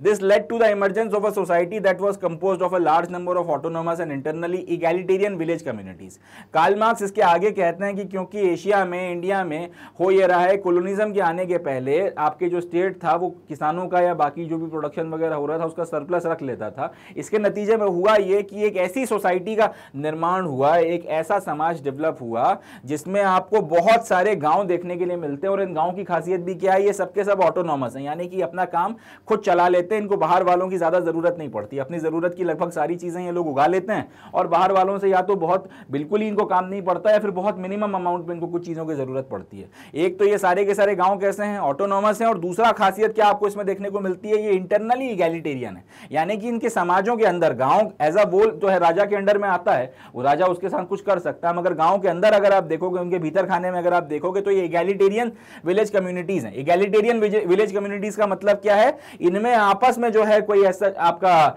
इसमें समानता वगैरह आपको देखने को मिलती है। गाँव के अंदर कम से कम जो है, आपको समानता या फिर आपको बराबरी देखने को मिलती है। गाँव में अंदर में ऐसा कोई भेदभाव नहीं होता। अब यहाँ पे काल मार्क्स अच्छे खासे गलत हैं, क्योंकि हमको पता है कास्ट सिस्टम अच्छा खासा जो था, वो प्रोमिनेंट था आपकी विलेज कम्युनिटीज में, मगर काल मार्क्स ने ये बोला कि आपका जो ओरिएंटल डिस्पोटिज्म है, उसी को आगे बढ़ा की जो concept of Asiatic mode of production है, उसके तहत मेरी एक थ्योरी है, जिसमें सरप्लस वगैरह लेने के कारण आपने ऐसे बहुत सारे गाँव का निर्माण कर दिया है, जो इंटरनली आपके ऑटोनोमस भी हैं, और साथ ही साथ क्या है इगैलिटेरियन यानी कि उनमें बराबरी की भी स्थिति आपको देखने को मिलती है, गाँव के अंदर जितनी भी आपकी विलेज कम्युनिटी है उनके, उनमें। The imperial court presided over these village communities respecting their autonomy as long as the flow of surplus was unimpeded अब आपका जो बादशाह है या फिर जो राजा है उसका कोर्ट इन सारी विलेज कम्युनिटीज के ऊपर प्रिसाइड करता है। यानी कि अगर वो इनके साथ में कुछ करना चाहे तो वो कर सकता है मगर वो जनरली इन गाँव वगैरह के अपने इंटरनल मैटर्स में तब तक दखल अंदाजी नहीं करता जब तक उसको जो सरप्लस अमाउंट ऑफ़ फ्लो है आपका जो भी कैश हो गया या फिर क्रॉप्स हो गया उसका मिलता चला जा रहा है। अगर उसको जो सरप्लस अमाउंट में कैश या फिर जो भी सारी चीज़ें मिलनी है कि आपका ग्रेन्स वगैरह या बाकी सारी चीज़ें वो आने में अगर दखल वो अगर आने में, आ, में किसी तरीके कोई दिक्कत होगी या किसी तरीके की दखल होगी, तब वो इन विलेज कम्युनिटीज में इंटरफेयर करेगा और तब वो देखेगा कि क्या हो रहा है, क्या नहीं हो रहा तब तक, जब तक उसका काम चल रहा है, तब तक वो आपका जो है इसमें इंटरफेयर नहीं करेगा। अब इसके आगे कार्ल मार्क्स ये लिखते हैं या उन्होंने इस पूरी की पूरी चीज़ को एक स्टैगनेंट सिस्टम के तौर पर डिफाइन किया था। उन्होंने बोला था कि इसके चलते हो ये रहा है कि ये समाज डेवलप नहीं कर पा रहे। जैसे हैं, ये सोसाइटी वैसी की वैसी रह गई। है लोग आ रहे हैं, जन्म ले रहे हैं, बड़े हो रहे हैं, काम कर रहे हैं और मर जा रहे हैं। मगर ये समाज का ये जो पूरा का पूरा सिस्टम बन गया, इसमें कोई बदलाव नहीं आ रहा। राजा तब तक दखल नहीं देगा जब तक उसको अपना काम चल रहा है ये लोग उसके हिसाब से अपना काम अपने आप को एडजस्ट कर लिए हैं कि राजा को इतना देना है। राजा को इतना देना है। तो उसके हिसाब से एक सर्टेन अमाउंट में आप उगा लो और लेट से जैसे डेढ़ सौ रुपए लेट से पचास रुपए राजा को देना सौ रुपए आपको चाहिए।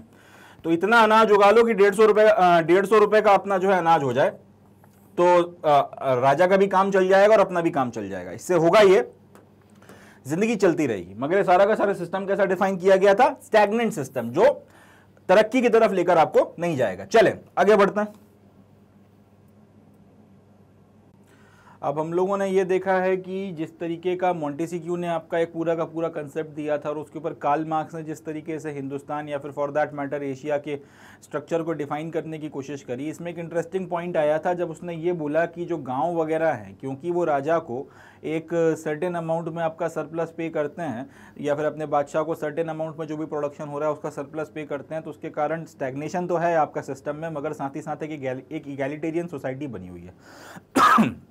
इगैलिटेरियन सोसाइटी का मतलब होता है जिसमें इक्वालिटी आपको देखने को मिले। इस तरीके से कार्ल मार्क्स ने जर्मनी में बैठे बैठे अठारहवीं उन्नीसवीं शताब्दी में, यानी कि सन 1801 से लेकर अठारह सौ निन्यानवे या उन्नीस सौ के बीच में, हिंदुस्तान या फिर एशिया के ऊपर एक अच्छी खासी थ्योरी लिख दी। मगर परेशानी यह है कि ये थ्योरी पूरी तरह से सच नहीं है, सच से काफ़ी दूर है। इसकी वजह यह है कि हिंदुस्तान के विलेज में कभी भी समानता तो रही नहीं है, ये बात तो एज एन इंडियंस हम लोगों को भी पता है। असमानताएँ कास्ट सिस्टम के कारण भी थी इकोनॉमिक डिफरेंसेस के कारण भी थी, वर्ण व्यवस्था के कारण भी थी, और भी चीज़ों के कारण एक डिस्पैरिटी आपको देखने को हमेशा से मिली है।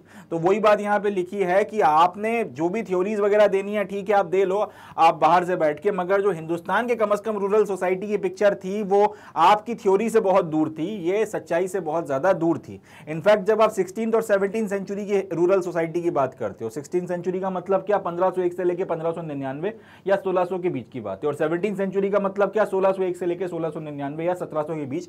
इन 200 सालों की जब आप बात करते हो, चाहे सोलहवीं शताब्दी उठाओ या सत्रहवीं शताब्दी उठाओ, उसमें रूरल सोसाइटी की अगर आप बात करते हो, अगर आप ग्रामीण भारत की बात करते हो तो उसमें जो, उसमें खास तौर पे आपको सोशल तौर पर भी और इकोनॉमिक तौर पर भी डिफ्रेंशिएशन देखने को मिलता था। तो कार्ल मार्क्स की ये बात कि भाई इगैलिटेरियन सोसाइटी है, सब लोग बराबर हैं और इस तरीके की चीज़ें आपको गाँव में देखने को मिलती हैं, कम अज कम हिंदुस्तान के रिस्पेक्ट में पूरी तरह से गलत है। सोशल डिफ्रेंशिएशन का मतलब क्या है? सोशल डिफ्रेंशिएशन का मतलब है कास्ट वगैरह के बेसिस पे कम्युनिटी के बेसिस पे ऑल दैट और इकोनॉमिक डिफ्रेंशिएशन का मतलब क्या है? आर्थिक आधार पर जो है आपको फ़र्क समझ में आता था समाज में वो। तो ये दोनों जो डिफरेंसेस हैं आपको देखने के लिए सोलहवीं और सत्रहवीं शताब्दी में दिखते थे। तो यहाँ से काल मार्क्स की ये बात की गैलिटेरियन सोसाइटी जो है वो बन गई और स्टैगनेंट सिस्टम आ गया, वो कम अज कम गलत हो जाता है, ये अपने को पता चलता है। इससे एक और बात समझ में आती है कि किताबों में लिखी हुई हर बात पर आँख बंद कर भरोसा नहीं किया जा सकता। कई सारी बातें लोग अपने अनुभव से, अपनी सोच से लिखते हैं, जो कई बार हो सकता है आपका उनकी समझ के हिसाब से ठीक हो, मगर हकीकत से बहुत दूर हो। जैसे काल मार्क्स ने कभी हिंदुस्तान झांके वो आए नहीं, या जब तक उन्होंने कम अज कम लिखा था, तब तक नहीं आए। और उसके बाद वो ऐसी बातें वगैरह जो कर रहे हैं, अब वो हो सकता है किसी और समाज के लिए सच हो हो सकता है उसमें कुछ बातें सही हो, मगर आप उसको एकदम आँखें बंद करके ब्रह्म वाक्य मान लें, वो बात सच नहीं है। क्या लिखा था कि बराबरी है आपके गाँव में? हमें दिख रहा है कि हमारे गाँव में बराबरी नहीं है। तो इस तरीके से कई सारी जो थ्योरीज होती हैं, उनकी हर बात सच हो, ये ज़रूरी नहीं है। यहीं से वो बात निकल कर आती है कि बर्नियर की हर लिखी हुई बात सच हो, ये भी ज़रूरी नहीं है। बर्नियर ने भी बहुत सी बातें बढ़ा चढ़ाकर या कुछ मोटिव्स के साथ में लिखी थी। चले, आगे बढ़ते हैं।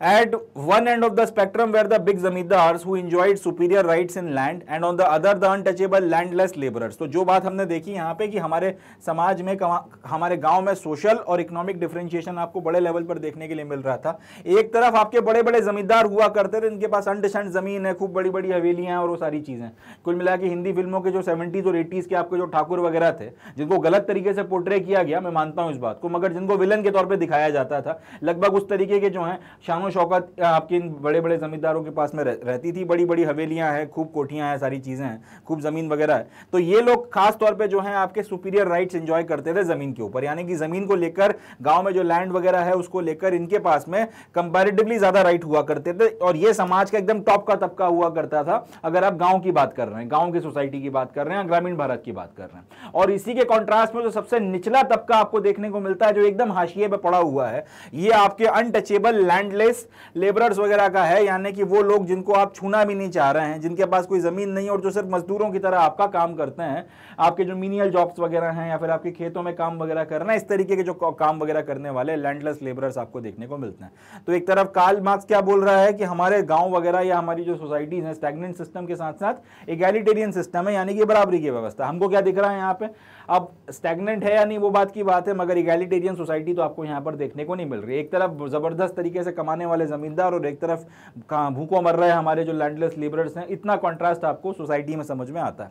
In between was the big peasant who use hired labours and engage in commodity production अब ये जो दोनों आपके एक्सट्रीम है, ये एकदम टॉप क्लास पे बैठा हुआ जमींदार और एकदम लोअर क्लास पे बैठे हुए अनटचेबल लैंडलेस लेबरर्स वगैरह, इनके बीच में आपको कुछ बड़े किसान वगैरह भी जो है वो देखने के लिए मिलते हैं, जो आपके हायर्ड लेबर्स का इस्तेमाल करते थे, यानी कि वो क्या करते थे, जो आपके मजदूर वगैरह हैं, उनको आप कुछ वक्त के लिए अपना आप यहाँ काम पे लगाते थे और उनकी मदद से आप अपने जो किसान, आप अपने जो खेत वगैरह हैं, उसमें कमोडिटी प्रोडक्शन वगैरह कर रहे हो। And smaller peasants who could barely produce for their own subsistence तो ये जो एक्सट्रीम आपको देखने को मिल रहे हैं, बड़े जमींदार और अनटचेबल लैंडलेस लेबरर्स इनके बीच में आपको दो और कैटेगरी देखने को मिलती है। बड़े किसान जो इतने बड़े भी नहीं है कि जमींदार कहा जा सके, मगर इतने छोटे भी नहीं है कि आप उनको छोटे किसानों की कैटेगरी में गिन सको। जिनके पास ठीक ठाक ज़मीन है और वो लेबर्स वगैरह को रखकर उनको पैसा वगैरह देकर अपना जो है काम वगैरह करवा सकते हैं, अपने आप खेती किसानी पर रखवा सकते हैं। और दूसरे कौन से हैं? दूसरे हैं आपके एकदम छोटे किसान जो खुद अपने खेतों में खेती खेती करते हैं, मगर उनकी स्थिति इतनी खराब है कि इतना भी नहीं वो उगा उगा पा रहे हैं कि वो अपने आप का सब्सिस्टेंस कर पाए, यानी कि अपना जो है घर परिवार चला पाए, अपना पेट पाल पाए। तो इस तरीके का डिफ्रेंशिएशन आपको भारत में सोलहवीं और सत्रहवीं शताब्दी में या पंद्रहवीं और सोलहवीं शताब्दी में देखने के लिए मिल रहा था। चले, आगे बढ़ते हैं। नेक्स्ट जो अपना टॉपिक आता है, इसका नाम है a more complex social reality यानी कि हकीकत जो है, सामाजिक हकीकत है, वो काफ़ी ज़्यादा कॉम्प्लेक्स है, काफ़ी ज़्यादा सोफिस्टिकेटेड है। हम लोगों ने अभी तक देखा कि मार्क्स ने या मार्क्स के पहले मोन्टीसियर ने या फिर आपके बाकी लोगों ने जिस तरीके से हिंदुस्तान या एशिया की सोसाइटीज़ को डिफाइन करने की कोशिश करी, उसमें काफ़ी ज़्यादा एरर्स आपको देखने को मिलते हैं। वो कुछ कह रहे हैं और हकीकत में कुछ और निकल कर आ रहा है। इससे फिर एक बात समझ में आती है कि सामाजिक ताना बाना उतना भी आसान नहीं होता, समझना उतना भी सिंपल नहीं होता जितना उसको कुछ पर्टिकुलर रूल्स एंड रेगुलेशंस में ढाल कर आप बनाने की कोशिश करते हो। आप अगर ये बोलो कि समाज जो है, समाज जो है वो सिर्फ़ आपका आर्थिक आधार पर ही जो है डिवाइडेड है, कम अज़ कम हिंदुस्तान में ये बात सच नहीं है। आप ये बोलो कि सिर्फ़ सोशल डिफरेंसेज या कास्ट वाली बात बात के बेसिस पर ही हमारे यहाँ सब कुछ चलता है तो ये बात भी सच नहीं है। बहुत सी चीज़ें होती हैं, बहुत से आपके कंपल्शंस होते हैं, हर एक समाज में आपके हर एक टाइम पीरियड में अलग अलग तरीके की परिस्थितियाँ आती हैं और उसके अनुसार सोसाइटी अपने आप को एडजस्ट करती चली जाती है। तो जो सिंपल रूल्स आपने बनाए कि one plus one is equal to two हो गया, इतना आसान नहीं होता समाज को समझना। समाज की जो रियालिटीज़ हैं सोशल रियालिटीज़ बहुत ज़्यादा अलग होती हैं, बहुत ज़्यादा कॉम्प्लेक्स होती हैं। तो वो सोशल रियालिटीज़ की जो कॉम्प्लेक्सिटीज़ हैं, अब हम लोग यहाँ पे देखेंगे। अब ये टॉपिक पढ़ना इसलिए ज़रूरी है क्योंकि इसके पहले जो हमने देखा कि समाज में आपके कितने ज़्यादा डिफरेंसेस आपको देखने को मिल रहे हैं और क्या क्या आपके जो है अलग अलग तबके आपके ग्रामीण क्षेत्रों में निकल कर आ रहे हैं। तो उसी बात को कंटिन्यू करते हुए ये सवाल पूछा जाना ज़रूरी हो जाता है कि ऐसे बड़े बड़े दार्शनिक जो बेसिकली पूरे के पूरे यूरोप के समाज को समझा गए अपनी सिंपल थ्योरीज की मदद से या फिर जिनके कंसेप्ट वगैरह के ऊपर सोवियत यूनियन बन गया, इतनी बड़ी रिवॉल्यूशन हो गई सोशलिज्म का कंसेप्ट बन गया, आखिर ये लोग हिंदुस्तान को क्यों नहीं सही तरीके से पकड़ पाए? ये सवाल पूछना बनता है कि हिंदुस्तान आखिर इनको समझ में क्यों नहीं आया? इसलिए हमारी सोसाइटी की जो कॉम्प्लेक्सिटीज़ हैं, उनको पढ़ना ज़रूरी हो जाता है, उनको समझना ज़रूरी हो जाता है। इसीलिए जो नेक्स्ट टॉपिक है मोर कॉम्प्लेक्स सोशल रियलिटी इसको हम लोग देखेंगे। अब बर्नियर के डिस्क्रिप्शन को जब आप पढ़ते हो फ्रांकोइज बर्नियर के जितने डिस्क्रिप्शन को पढ़ते हो तो उसमें आपको एक बायस उसमें एक भेदभाव समझ में आता है। ये बंदा प्री ऑक्यूपाइड है कि भैया कुछ भी करके मुगल स्टेट जो है उसको आपको प्रोजेक्ट करना है टायरेनिकल यानी कि मुगल स्टेट में सिवाय अत्याचारों के कुछ और नहीं हो रहा था। ये चीज़ फ्रांकोइज बर्नियर की रिकॉर्ड से या उसके डिस्क्रिप्शन से आपको देखने को मिलती है। मगर साथ ही साथ अब ऐसा भी नहीं है कि अगर आपने टायरेनिकल तरीके से दिखाना है तो आप सब कुछ अपनी मन मर्ज़ी से गलत गलत ही लिखोगे। अब आपको कई बार कई सारी चीज़ें लिखना पड़ती हैं कि मैं इसी वजह से जो है आ, इस स्टेट को टायरेनिकल कह रहा हूँ। अब उसमें समाज का डिस्क्रिप्शन आएगा तो कई बार फ्रेंकोइज बर्नियर जिसकी किताबों में ये बायस दिखता है कि वो मुगलों को एकदम आतताई के तौर पर दिखा रहा है, हिंदुस्तान को एकदम कमतर दिखाने में लगा हुआ अपनी किताबों में, यूरोपियंस के कंपैरिजन में। उसमें भी कई बार जब वो समाज को डिस्क्राइब करता है तो आपको कई सारी हकीकतें पता चलती हैं। ये वही वाली बात है, जैसे बगूला आपका दूध और पानी में से दूध को अलग छांट लेता है तो उसकी जो इतनी भी बातें लिखी गई हैं, उसमें से अब हम लोग भी जो है हकीकत को छाट लेते हैं। इसको कहते हैं reading between the lines historians को ये चीज़ बड़े अच्छे से आती है, पारंगत होते हैं। जो लिखा गया है, उसमें से कितनी हकीकत है और कितना फसाना है, उसको पकड़ के हकीकत को निकाल लेना, इसको रीडिंग बिटवीन द लाइन्स कहा जाता है। तो फ्रांकोइज बर्नियर की किताबों को भी जब आप पढ़ोगे और उसमें रीडिंग बिटवीन द लाइन्स जब आप करोगे तो आपको समझ में आएगा कि इंस्पाइट ऑफ़ द फैक्ट कि मुगलों को अत्याचारी बताने में लगा हुआ है, हिंदुस्तान को कमतर बताने में लगा हुआ है, उसके बाद भी इसके डिस्क्रिप्शन में कई बार इसके टाइम पीरियड में भारतीय समाज की जो कॉम्प्लेक्स सोशल रियलिटीज़ हैं, उसके बारे में हमको काफ़ी कुछ पता चलता है। एक एग्ज़ाम्पल लेते हैं, उससे ज़्यादा अच्छे से क्लियर होगा। जैसे कि एक इंस्टेंस पर ये बताता है he felt that artisans had no incentive to improve the quality of their manufacturers since profits were appropriated by the state अब एक जगह पे इसने ये बताया है कि आपके जो काश्तकार हैं, आपके जो आर्टिसंस हैं जो अलग अलग तरीके का प्रोडक्शन करते हैं, कोई आपका कॉटन के टेक्सटाइल बना रहा है, कोई सिल्क के, कोई सिल्क के टेक्सटाइल बना रहा है, कोई सोने की ज्वेलरी बना रहा है। इस तरीके के जो अलग अलग आपके जो काश्तकार हैं, इन लोगों के पास में कोई पैसा या कोई इंसेंटिव नहीं था, जिसकी मदद से ये लोग अपनी मैन्युफैक्चरिंग की क्वालिटी वगैरह को और ज़्यादा इंप्रूव कर सकें। जो ये बना रहे हैं, वो अच्छा बनाते थे, मगर इससे और ज़्यादा अच्छा बना सकें, इस तरीके की व्यवस्था इनके पास में नहीं थी। इसकी वजह ये थी कि जो प्रॉफिट्स वगैरह थे, जो भी पैसा वगैरह आ रहा था, वो सारा का सारा पैसा, जो एक्स्ट्रा प्रॉफिट था, वो स्टेट को देना पड़ता था टैक्स के तौर पर इनके पास में सिर्फ़ इतना बचता था हैंड टू माउथ ये लोग खा कमा सकते थे, बचता कुछ नहीं था। तो इस कारण से आर्टिसन वगैरह जो है अपने पास में ज़्यादा कुछ रखते नहीं थे, या ज़्यादा कुछ रख नहीं पाते थे क्योंकि सारा का सारा प्रॉफिट आपका स्टेट खा जाता था, इसलिए इन लोगों की स्थिति ठीक नहीं थी। आगे ये लिखते हैं manufacturers were consequently everywhere in decline इसलिए अब हो ये रहा था कि जो जो लोग आपकी काश्तकारी करते थे, जो लोग आपके आर्टिसंस वगैरह थे एग्रीकल्चर के अलावा दूसरे मोड्स ऑफ़ प्रोडक्शन में लगे हुए थे, वो हर जगह, क्योंकि स्टेट इस तरीके की चीज़ें करके उनको ग्रो करने का मौका नहीं दे रहा था, इसलिए वो हर जगह आपका डिसलाइन में जा रहे थे, कहीं पर भी उनमें आपको तरक्की या प्रोग्रेस होती हुई नहीं दिखती। At the same time he considered that vast आपका quantities of various of world's precious metals flowed into India as manufacturers were exporting in exchange for gold and silver तो एक जगह इसने क्या बोला है कि काश्तकार जितने हैं, आपके सिल्क का प्रोडक्शन कर रहे हैं, जो टेक्सटाइल्स बना रहे हैं कॉटन की, बाकी सारी चीज़ें बना रहे हैं, उन भाई लोगों के पास में प्रॉफिट जितना भी आता है, वो सारा का सारा स्टेट खा जाता है तो इन लोगों के पास में अपने प्रोडक्ट्स की क्वालिटी को इंप्रूव करने का कोई ज़रिया नहीं है। और इनका ओवरऑल अगर आप कहीं पे भी मैन्युफैक्चरिंग देख लोगे तो हर जगह आपको डिसलाइन में देखने को मिलती है। अब एक जगह फ्रांको, फ्रांकोइस बर्नियर ने यह बात कह दी। दूसरी जगह यह बंदा बोलता है कि at the same time Hindustan में बड़ी मात्रा में सोना चांदी जो है, आ रहा है। बड़ी मात्रा में व्यापार के तहत सोना चांदी आ रहा है। इसकी वजह यह है कि लोग बाग यहाँ पर आते हैं। ये काश्तकारों का सामान जो है, बड़ी मात्रा में खरीदते हैं और बदले में सोने और चांदी को पे करते हैं और चले जाते हैं। अभी क्वेश्चन ये उठेगा कि अगर चारों तरफ़ मैन्युफैक्चरिंग डिसलाइन में है तो भाई एक बात बताए, फिर बाहर से लोग आके सोना चांदी देकर इतनी बड़ी बड़ी मात्रा में आखिर पैसा क्यों ये सामान क्यों खरीद कर लेकर जा रहे हैं? जिसकी वजह से आप या आप खुद बोल रहे हो तो खुद बोल रहा है कि बड़ी मात्रा में हिंदुस्तान में प्रेशियस मेटल जो है वो फ्लो कर रहे थे क्योंकि मैन्युफैक्चरर बड़ी मात्रा में सामान खरीद कर लेकर जाते थे। अब ये पैराडॉक्स या कॉन्ट्रा ये कॉन्ट्रास्ट को, सम, को सम, समझना जो है ज़रूरी हो जाता है। इसलिए पूरी तरीके से इस बात पे भी सच्चाई नहीं मानी जा सकती जो बातें फ्रेंकवाइज बर्नियर बता रहा है। मगर हाँ इसमें कुछ हकीकत रही होगी।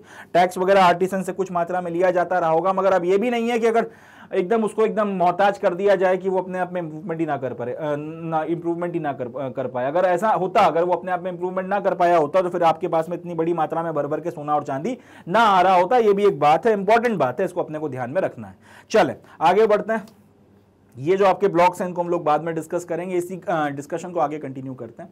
He also noted the existence of a prosperous merchant community engaged in long distance exchange. अब साथ ही साथ फ्रांकोइस बर्नियर ये भी बोलता है कि हिंदुस्तान में ऐसे व्यापारियों का समूह भी है जो लॉन्ग डिस्टेंस के ट्रेड वगैरह में इंगेज है, यानी कि वो बड़े डिस्टेंसेस तक अपना ट्रेड वगैरह करते हैं, या फिर ऐसा नहीं है कि आपने दो चार सौ कोस की दूरी में अपना ट्रेड कर लिया, आप एक से दूसरे देश तक जो है वो जा रहे हो तो ये बात भी जो है इसने नोटिस करी थी कि यहाँ पर एक प्रॉस्पेरस कम्युनिटी भी है, एक प्रॉस्पेरस व्यापारी समूह, एक मर्चेंट कम्युनिटी है, जो लॉन्ग डिस्टेंस ट्रेड वगैरह में इन्वॉल्व है लॉन्ग डिस्टेंस एक्सचेंज वगैरह में ये लगा हुआ है। In fact during the seventeen century about 15 percent of the population lived in towns सत्रहवीं शताब्दी की अगर बात की जाए, यानी कि सन 1601 से लेकर 1699 या 1700 के बीच की बात की जाए, जब मुगलों का टाइम पीरियड चल रहा है, तब आपको क्या समझ में आता है कि पूरे के पूरे हिंदुस्तान की लगभग पंद्रह जो पॉपुलेशन है, वो आपके टाउन्स में रहती है, गाँव में नहीं रहती, वो आपके टाउन्स वगैरह में रह रही है। This was on average higher than the proportion of urban population in western Europe at the same time अब अगर आप वेस्टर्न यूरोप की बात करोगे, जो आज की तारीख में सबसे ज़्यादा डेवलप्ड इलाका माना जाता है, पूरी दुनिया का, अमेरिका वगैरह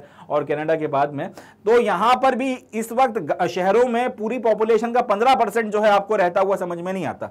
जबकि हिंदुस्तान, जिसको ये बता रहे थे, एकदम गया बीता है, यूरोप के सामने कुछ नहीं है, इस तरीके की परिस्थितियाँ हैं। वहाँ पर उसी टाइम पीरियड में आपको पूरे के, आपके जो टाउन है, उसमें लगभग पंद्रह के करीब पॉपुलेशन रहती हुई समझ में आती है। इन कॉन्ट्रास्ट इन कंपेरिजन अगर आप देखोगे तो वेस्टर्न यूरोप में अर्बन पॉपुलेशन इतनी मात्रा में तब नहीं रह रही थी जितना हिंदुस्तान में रह रही थी। तो ये यहाँ से फिर एक बात समझ में आती है बर्नियर की डिस्क्रिप्शन में काफ़ी ज़्यादा खोट है, काफ़ी ज़्यादा भेदभाव किया गया और बहुत ज़्यादा बायस के साथ में उसने इन सारी चीज़ों को लिखा। In spite of this Bernier describe Mughal cities as camp town by which he mean towns that owed their existence and dependent for their survival on the imperial camp अब इतना सब होने के बाद में भी जब आपको क्लियर कट समझ में आ रहा है कि बर्नियर के डिस्क्रिप्शन में हकीकत नहीं है, पूरी तरह से सच्चाई नहीं है, कुछ खोट है, ये हिंदुस्तान का जो डिस्क्रिप्शन दे रहा है, ये पूरी तरह से सच नहीं है। इतना सब होने के बाद में भी बर्नियर और जब दिख रहा है कि हिंदुस्तान के शहरों में ज़्यादा पॉपुलेशन रह रही है यूरोप के कंपेरिजन में, एक ही टाइम पीरियड में सबके बाद में भी बर्नियर ने मुगलों के शहरों को कैंप टाउन बोला है। इंपॉर्टेंट है याद रखिएगा एग्ज़ाम में सवाल बनता है इसके ऊपर। आपका मुगल सिटीज़ को इसने कैंप टाउन बोला है। कैंप टाउन बोलने की वजह क्या है? कैंप टाउन बोलने का मतलब यह है कि ये ऐसे शहर हैं जो सिर्फ़ तभी तक फ्लरिश करते हैं जब तक बादशाह यहाँ पे बैठता है या फिर अपना इंपीरियल कैंप लेकर आ जाता है। क्योंकि हम लोगों ने देख रखा है किंग्स एंड क्रॉनिकल्स में कि अकबर जो था और बाद में भी जो राजा थे, ये रेगुलरली अपनी राजधानियाँ चेंज करते रहते थे। और अकॉर्डिंगली आपका जो दूसरे आपके अमीर उमराव थे, वो भी एक से दूसरी जगह मूव करते रहते थे। तो जब बादशाह किसी जगह पर कैंप लगा रहा है या फिर किसी एक पर्टिकुलर शहर में कुछ सालों के लिए रुक गया, जैसे अकबर लाहौर चला गया था कुछ वक्त के लिए, फतेहपुर सीकरी में रहा, आगरा में रहा, इस तरीके से अलग अलग तो इसी तरीके से जब बादशाह अलग अलग शहरों में कैंप लगा रहा है, यानी अलग अलग शहरों में कुछ सालों के लिए रुकता है, तभी ये शहर जो है आपका फ्लरिश करते हैं और तब तक ये शहर जो है इनकी कुछ इंपॉर्टेंस रहती है। जैसे ही बादशाह वहाँ से उठ के किसी दूसरी जगह चला जाता है, ये शहर जो है अपनी इंपॉर्टेंस या फिर अपनी रेलेवेंस वगैरह खो देते हैं। इंपॉर्टेंट बात है, याद रखिएगा। क्या बात निकल कर आ रही है? मुगल टाउन को उसने क्या बोला है? कैंप टाउन तो किस बात पर डिपेंड करते हैं अपने एग्जिस्टेंस के लिए? वो डिपेंड करते हैं इंपीरियल कैंप के ऊपर। इंपीरियल कैंप का मतलब क्या है कि बादशाह यहाँ पर रह रहा है और यहाँ से अपना कारोबार वगैरह चला रहा है। अगर है तो ये सर्वाइव करेंगे और अगर नहीं, अगर ये यहाँ से उठ के गया तो फिर ये इनकी इंपॉर्टेंस इनकी रेलेवेंस खत्म हो जाएगी। He believed that these came into existence when the imperial court moved in and rapidly decline when in when they moved out यानी कि वही बात की जब ये इंपीरियल कोर्ट या फिर आपका बादशाह इन शहरों में आके रहने लगेगा तो ये शहर एकदम से डेवलप होते हैं और जब बादशाह चला जाता है तो एकदम से शहर आपका डिस्लाइन की तरफ़ जाते हैं और बर्बाद हो जाते हैं। इस तरीके से जो है इसने इसको डिस्क्राइब किया था। चलें, आगे बढ़ते हैं। तो यहाँ से जो बर्नियर का डिस्क्रिप्शन है, और इसमें जो इसने कैंप टाउन की बात करी है कि भाई कैम्प टाउन जैसे शहर हुआ करते थे मुगलों के टाइम में मतलब जब राजा अंदर आके रहेगा यहाँ पर, तब तक ये शहर आपके चलते थे, या इनकी प्रोस्पैरिटी होती थी, और जैसे ही राजा अपना पूरा शासन यहाँ से उठा के कहीं और लेकर जाता था करने के लिए तो ये समाप्त हो जाते थे, या फिर इनका रेलेवेंस नहीं रहता था। उसके बाद ये शहर उतना ज़्यादा इंपॉर्टेंट नहीं रह जाते थे। इस तरीके से इसको बर्नियर ने डिस्क्राइब किया है फ्रांकवाइज बर्नियर ने। इसका कहना यह था he suggested that they did not had viable social and economic foundation but were dependent on imperial patronage मतलब यह कि आपके शहर क्यों कैंप टाउन इसलिए हैं क्योंकि वो राजा की मर्ज़ी राजा के पेट्रोनेज पर या इंपीरियल पेट्रोनेज पर डिपेंड करते हैं। अब राजा अगर एक जगह पे आके रहेगा तो फिर वहाँ पे उसके, वो राजा है नॉर्मल तरीके से तो रहेगा नहीं। उसके लिए फिर आपको काफ़ी सारी व्यवस्थाएँ करना पड़ेंगी। उसके जो साथ के आपके अमीर उमराव आएँगे, उनकी व्यवस्था करनी पड़ेगी। राजा आएगा तो फिर सिक्योरिटी का भी ध्यान रखना पड़ता है डिफेंस वगैरह के लिए फौजें आती हैं। फौज वगैरह को खिलाना पड़ेगा और उनके लिए सारी व्यवस्था करना पड़ेगी। तो कुल मिलाकर ही, अब इस सबके लिए वहाँ के जो लोकल रहने वाले रेसिडेंट्स हैं, उनको दिया जाएगा पैसा, या इसको बोला जाता था इंपीरियल पेट्रोनेज और जब तक अब राजा यहाँ पे रहेगा, ये इंपीरियल पेट्रोनेज आती रहेगी तो इन लोगों की ज़िंदगी अच्छी चलेगी। अब जैसे ही रॉयल कोर्ट यहाँ से उठ के किसी भी परिस्थिति या किसी भी वजह के कारण अगर किसी दूसरे शहर में जाता है तो अब ये इंपीरियल पैट्रोनेज मिलना बंद हो जाएगा। और उसके बाद ये शहर जो है, उस तरीके से नहीं रह जाएँगे जिस तरीके से पहले थे। इसकी वजह क्या है? इसकी वजह यह है, क्योंकि इनके पास में कोई और इकोनॉमिक फाउंडेशन है ही नहीं। इनके यहाँ पे कोई आर्थिक गतिविधियाँ नहीं होती जिससे इन शहर की अर्थव्यवस्था वगैरह चलती हो। कोई सोशल फाउंडेशन नहीं है इस तरीके का।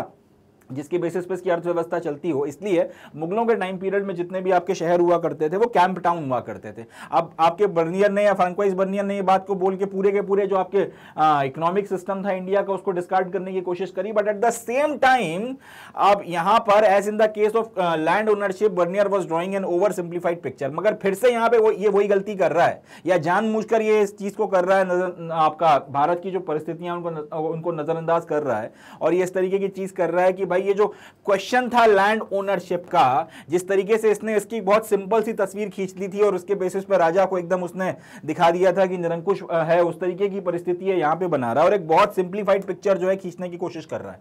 आपने बोल दिया कैंप टाउन राजा आया, शहर बनेगा, अच्छे से फ्लरिश करेगा कैंप टाउन राजा बाहर गया, शहर खत्म हो गया। जिस तरह से इसने और इसी तरह से इसने इसके पहले बोला था कि सारी की सारी ज़मीन राजा की है। राजा जब राजा उसके बेसिस पर जो है रहने के बदले में लोगों से रेंट लेता है। इस तरीके से इसने एक बहुत ओवर सिंप्लीफाइड पिक्चर जो है भारतीय समाज की देने की कोशिश करी, उसकी जो कॉम्प्लेक्सिटीज हैं, उसको उसने नज़रअंदाज कर दिया, क्योंकि हम लोग जानते हैं, हमारे पास इस चीज़ के रिकॉर्ड पड़े हुए हैं कि हिंदुस्तान में हर तरीके के शहर आपको देखने के लिए मिलते थे। मैन्युफैक्चरिंग के टाउन हुआ करते थे, ट्रेडिंग के टाउन हुआ करते थे, पोर्ट के टाउन हुआ करते थे, सीक्रेट शहर हुआ करते थे, पिलग्रिमेज के टाउन हुआ करते थे, और भी पचासों तरीके के आपको आपके टाउन वगैरह देखने के लिए मिलते थे। आज भी जैसे कई शहरों की आपको आपके जो कई सारे शहर हैं, वो कुछ चीज़ों के लिए फ़ेमस हैं। उस, और ये अंग्रेज़ों के टाइम पीरियड से नहीं, अंग्रेज़ों के टाइम पीरियड के पहले की इस तरीके की परिस्थितियाँ आपको देखने को मिलती हैं। तो फिर से फ्रांकोइस बर्नियर ने इस पर्टिकुलर एस्पेक्ट को जो है नजरअंदाज कर दिया है कि हिंदुस्तान में हर तरीके के टाउन हुआ करते थे। और हर एक टाउन में तो जाकर आपका बादशाह रह नहीं रहा है। तो इसको आप कैंप टाउन नहीं कह सकते। और मगर इनकी इकोनॉमी वगैरह जो है, बड़े लेवल पर अच्छी तरीके से फ्लरिश कर रही है। काफ़ी बढ़िया तरीके से जो है यहाँ पे काम वगैरह चल रहा है। तो इनके एग्जिस्टेंस क्योंकि राजा के ऊपर डिपेंड नहीं करते। Their existence is an index of the prosperity of merchant communities and professional classes अब ये शहर कितने कितने बड़े हैं, यहाँ पे कितना ज़्यादा जो है प्रोमिनेंटली इकोनॉमी चल रही है, कितने लोग आते हैं, कितना यहाँ पर आपको वैभव देखने के लिए मिल रहा है, वो डिपेंड किस पे कर रहा है? राजा की इंपीरियल पैट्रोनेज के ऊपर वो डिपेंड नहीं कर रहा। वो डिपेंड किस बात पे कर रहा है? यहाँ रहने वाली जो मर्चेंट कम्युनिटीज और प्रोफेशनल क्लासेस हैं, वो कितना ज़्यादा बिज़नेस कर रही हैं या कितना ज़्यादा प्रॉस्पेरस है? जितनी ज़्यादा उनकी प्रॉस्पेरिटी है, जितना ज़्यादा उनका बिज़नेस है, उसके ऊपर जो है डिपेंड करता है कि आपका यहाँ पर प्रोग्रेस या डेवलपमेंट कितना ज़्यादा है या फिर कितना इफेक्टिवली हो रहा है। तो फिर से यहाँ पे वही बात आ जाती है कि बर्नियर या तो गलत है, या फिर जानबूझकर आपका जो है इन चीज़ों को नजरअंदाज कर रहा है। अब इन्हीं टाउन वगैरह के बारे में थोड़ी सी हम लोग और बातचीत करेंगे और कैंप टाउन का जो इसका कंसेप्ट है, जिसके बेसिस पर ये हमारे शहरों को डिस्क्राइब कर एकदम खारिज करने की कोशिश कर रहा है, वो कैसे गलत है, उसको और ज़्यादा देखेंगे। Merchants often had strong community or kin ties and were organise into their own caste cum occupational bodies अब मर्चेंट्स वगैरह जो थे, उनकी अपनी खुद की एक स्ट्रॉन्ग कम्युनिटी हुआ करती थी। व्यापारियों का अपना खुद का एक मज़बूत समूह हुआ करता था और इनके जनरली जो किन टाइज का मतलब है परिवार में या कुटुंब में सबके सब लोग एक ही जैसा काम कर रहे हैं। अब जैसे सुनार हम लोग कई बार बोल देते हैं, लुहार हम लोग बोल देते हैं। सुनार होना या लुहार होना कोई कास्ट से ज़्यादा एक प्रोफेशन है, मगर क्योंकि पूरा का पूरा परिवार उसमें लगा हुआ है, पूरा का पूरा कुटुंब वही काम कर रहा है तो उसके लिए फिर हम लोग जो शब्द इस्तेमाल करेंगे वो करेंगे किन टाइस कि आपका पूरा का पूरा पारिवारिक जितने संबंध वगैरह हैं, सब लोग यही काम में लगे हुए हैं। तो मर्चेंट जो है, उनकी उनकी कई बार जो है स्ट्रॉन्ग कम्युनिटीज हुआ करती थी, या फिर उनके कुटुंब वगैरह या किन टाइज जो है, बड़े स्ट्रॉन्ग हुआ करते थे। And were are organise into their own caste cum occupational bodies और ये लोग अपने आप को ऑक्यूपेशनल बॉडीज के तौर पर ऑर्गेनाइज कर लेते थे। यानी कि एक पर्टिकुलर कास्ट एक ही तरीके का काम कर रही है और उसका पर्टिकुलर कास्ट के फिर जितने लोग हैं वो, उनके कुटुंब, उनके परिवार सबके सब उसी काम में जो है लगे हुए हैं। इस तरीके की आपको व्यवस्था हिंदुस्तान में देखने के लिए मिल रही थी। In western India these groups were called mahajans and in the end in and their chief the seth अब वेस्टर्न इंडिया में अगर देखा जाए तो इस तरीके के जो ग्रुप्स थे उनको महाजन कहा जाता था और उनका जो चीफ होता था, उसको बोला जाता था seth in urban center such as Ahmedabad the mahajans were collectively represented represented by the chief of the merchant community, who was called the nagar seth अब अगर आप बड़े बड़े अर्बन सेंटर्स की बात कर लोगे, जैसे अहमदाबाद एक बहुत आपका बड़ा अर्बन सेंटर हुआ करता था, यहाँ पर अब ये जो सारे के सारे महाजन हुआ करते थे, इनका एक चीफ हुआ करता था, जो पूरी की पूरी मर्चेंट कम्युनिटी को रिप्रेजेंट करता था और बादशाह वगैरह के पास जाना है या बड़े अफसरों के पास जाना है तो पूरी की पूरी मर्चेंट कम्युनिटी को रिप्रेजेंट ये करता था। इसको बोला जाता था नगर सेठ ये शब्द बहुत फ़ेमस है और कई बार आप लोगों ने भी सुना होगा। तो क्या हो रहा है यहाँ पे? हर एक कास्ट या हर एक कम्युनिटी एक ही पर्टिकुलर प्रोफेशन में लगी हुई है।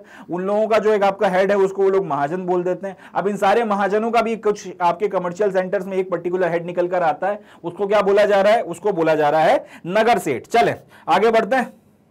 तो हम लोगों ने ट्रेडर्स और मर्चेंट्स की बात कर ली है, जिसमें नगर सेठ तक का डिस्क्रिप्शन जो है अपन लोगों ने देख लिया है।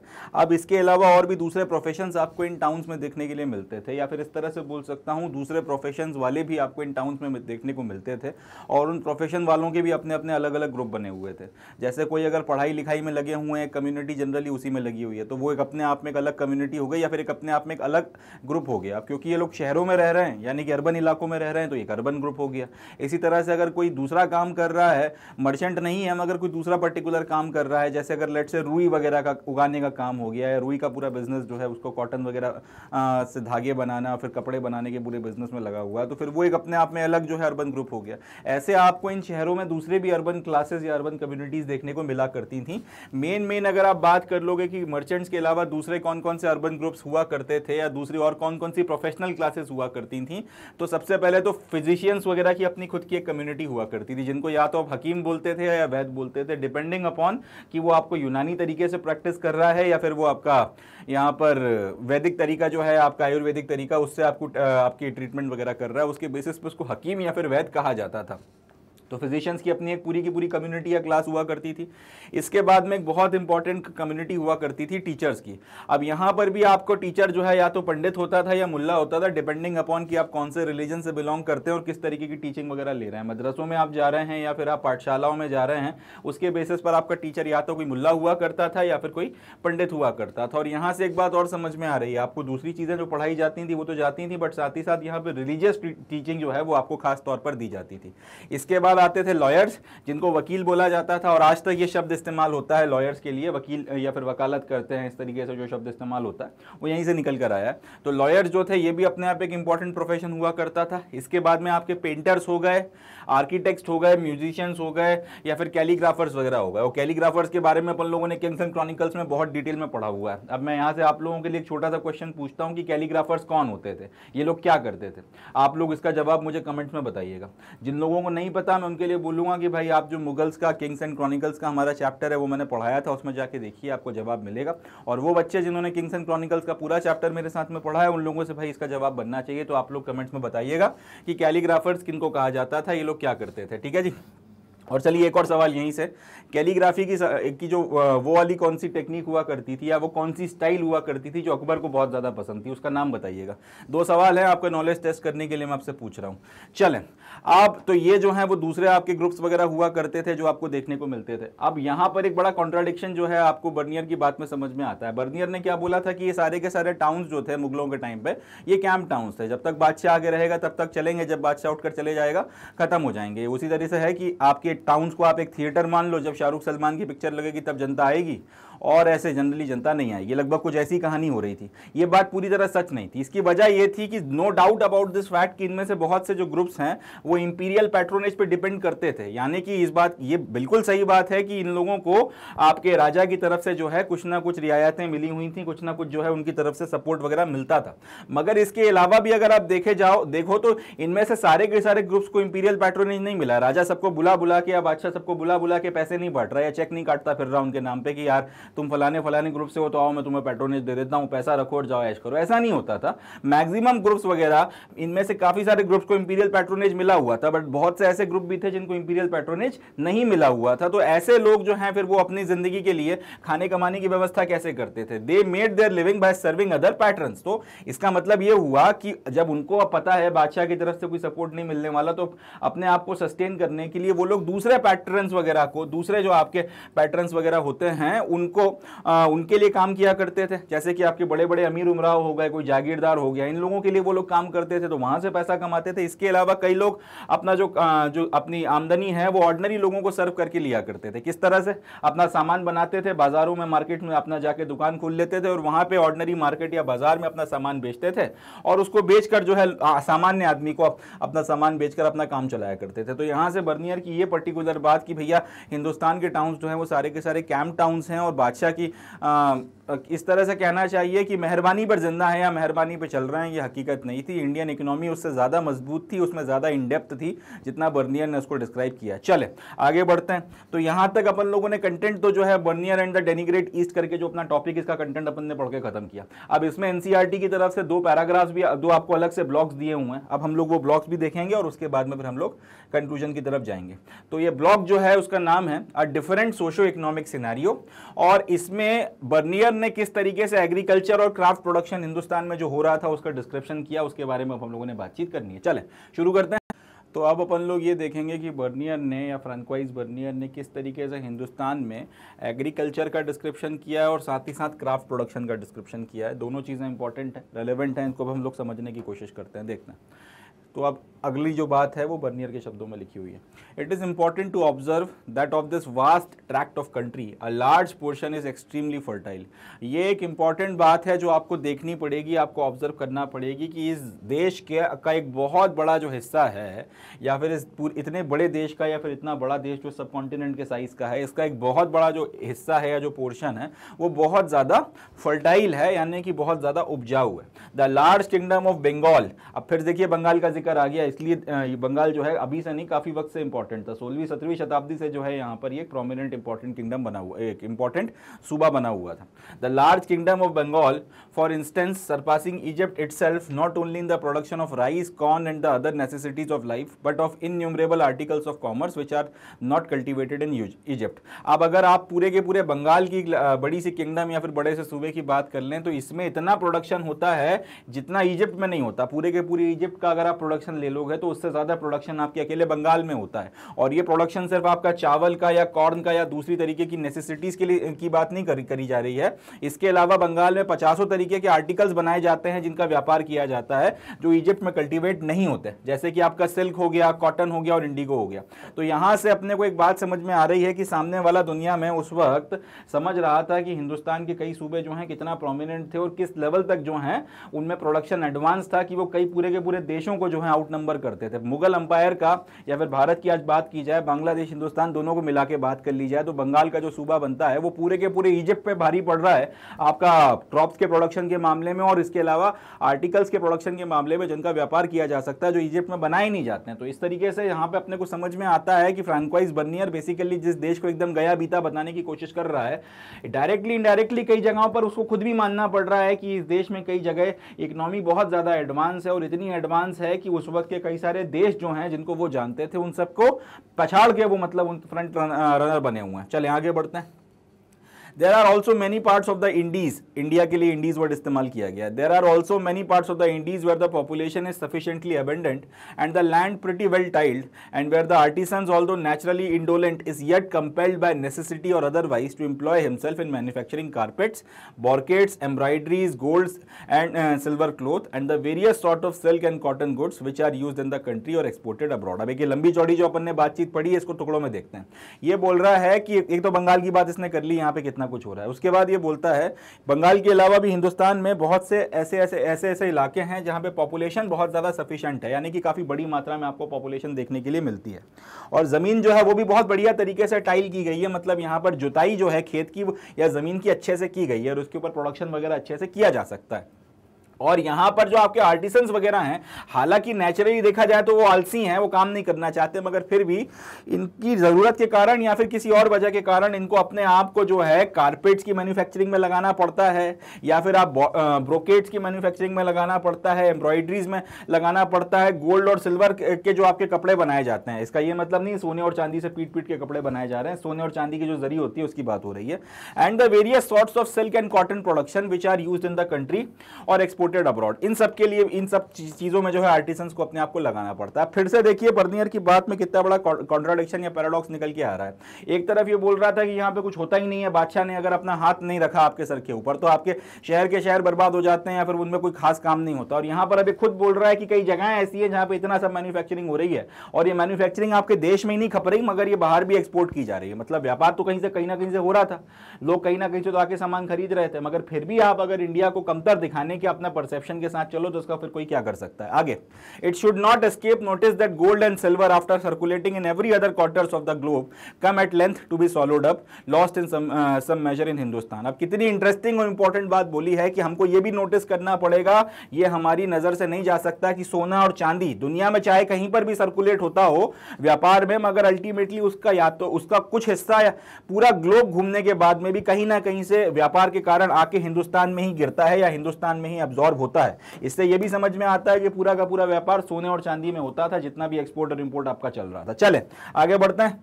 तो ये एक ब्लॉक अपना ये पूरा हुआ। अब सेकंड ब्लॉक जो है, उसमें हम लोग बातचीत करेंगे और इसमें हम देखेंगे कि बर्नियर ने इंपीरियल कारखाने के बारे में, के बारे में क्या कहा है। जो इंपीरियल कारखाना हुआ करते थे, उस पर बर्नियर के क्या विचार है, वो अब हम लोग यहाँ पर देखेंगे। चले, शुरू करते हैं। बर्नियर बेसिकली शायद एकमात्र ऐसा हिस्टोरियन है। इंपॉर्टेंट बात है, याद रखिएगा एग्ज़ाम में पूछा ज़रूर जाएगा, या पूछा जा सकता है। कि बर्नियर। शायद अकेला ऐसा एकमात्र हिस्टोरियन है जिसने मुगलों के टाइम पीरियड पर जो आपके इंपीरियल कारखाने या वर्कशॉप चला करते थे। इंपीरियल कारखानों का मतलब क्या? वो कारखाने जो बादशाह के हुक्म से चलाए जा रहे हैं या फिर जो आपका राज्य या फिर आपका जो शासन प्रशासन है वो चला रहा है। इनको इंग्लिश में क्या बोलते हैं? वर्कशॉप्स वर्कशॉप्स का मतलब क्या? जहाँ पर अलग अलग तरीके की चीज़ों का प्रोडक्शन होता है। तो ये जो इंपीरियल कारखाने या फिर इंपीरियल वर्कशॉप हुआ करते थे, जो बादशाह के हुक्म से चलाए जा रहे थे या जो राज्य जो था या स्टेट जो था जिनको चलाया करता था। इनका डिटेल डिस्क्रिप्शन अगर आपको किसी के अकाउंट्स में देखने को मिलता है, या फिर किसी ने अगर इनको डिटेल में इनके बारे में लिखा है तो ऐसा शायद एकमात्र हिस्टोरियन बर्नियर ही हुआ है, या फिर बर्नियर का ही अकाउंट हिस्टोरियंस को अब तक ऐसा मिला है जिसमें इंपीरियल कारखानों के बारे में डिटेल में जो है बातचीत की गई है। अब इसमें ये क्या बोलता है कारखानों के बारे में हम लोग वो देखते हैं।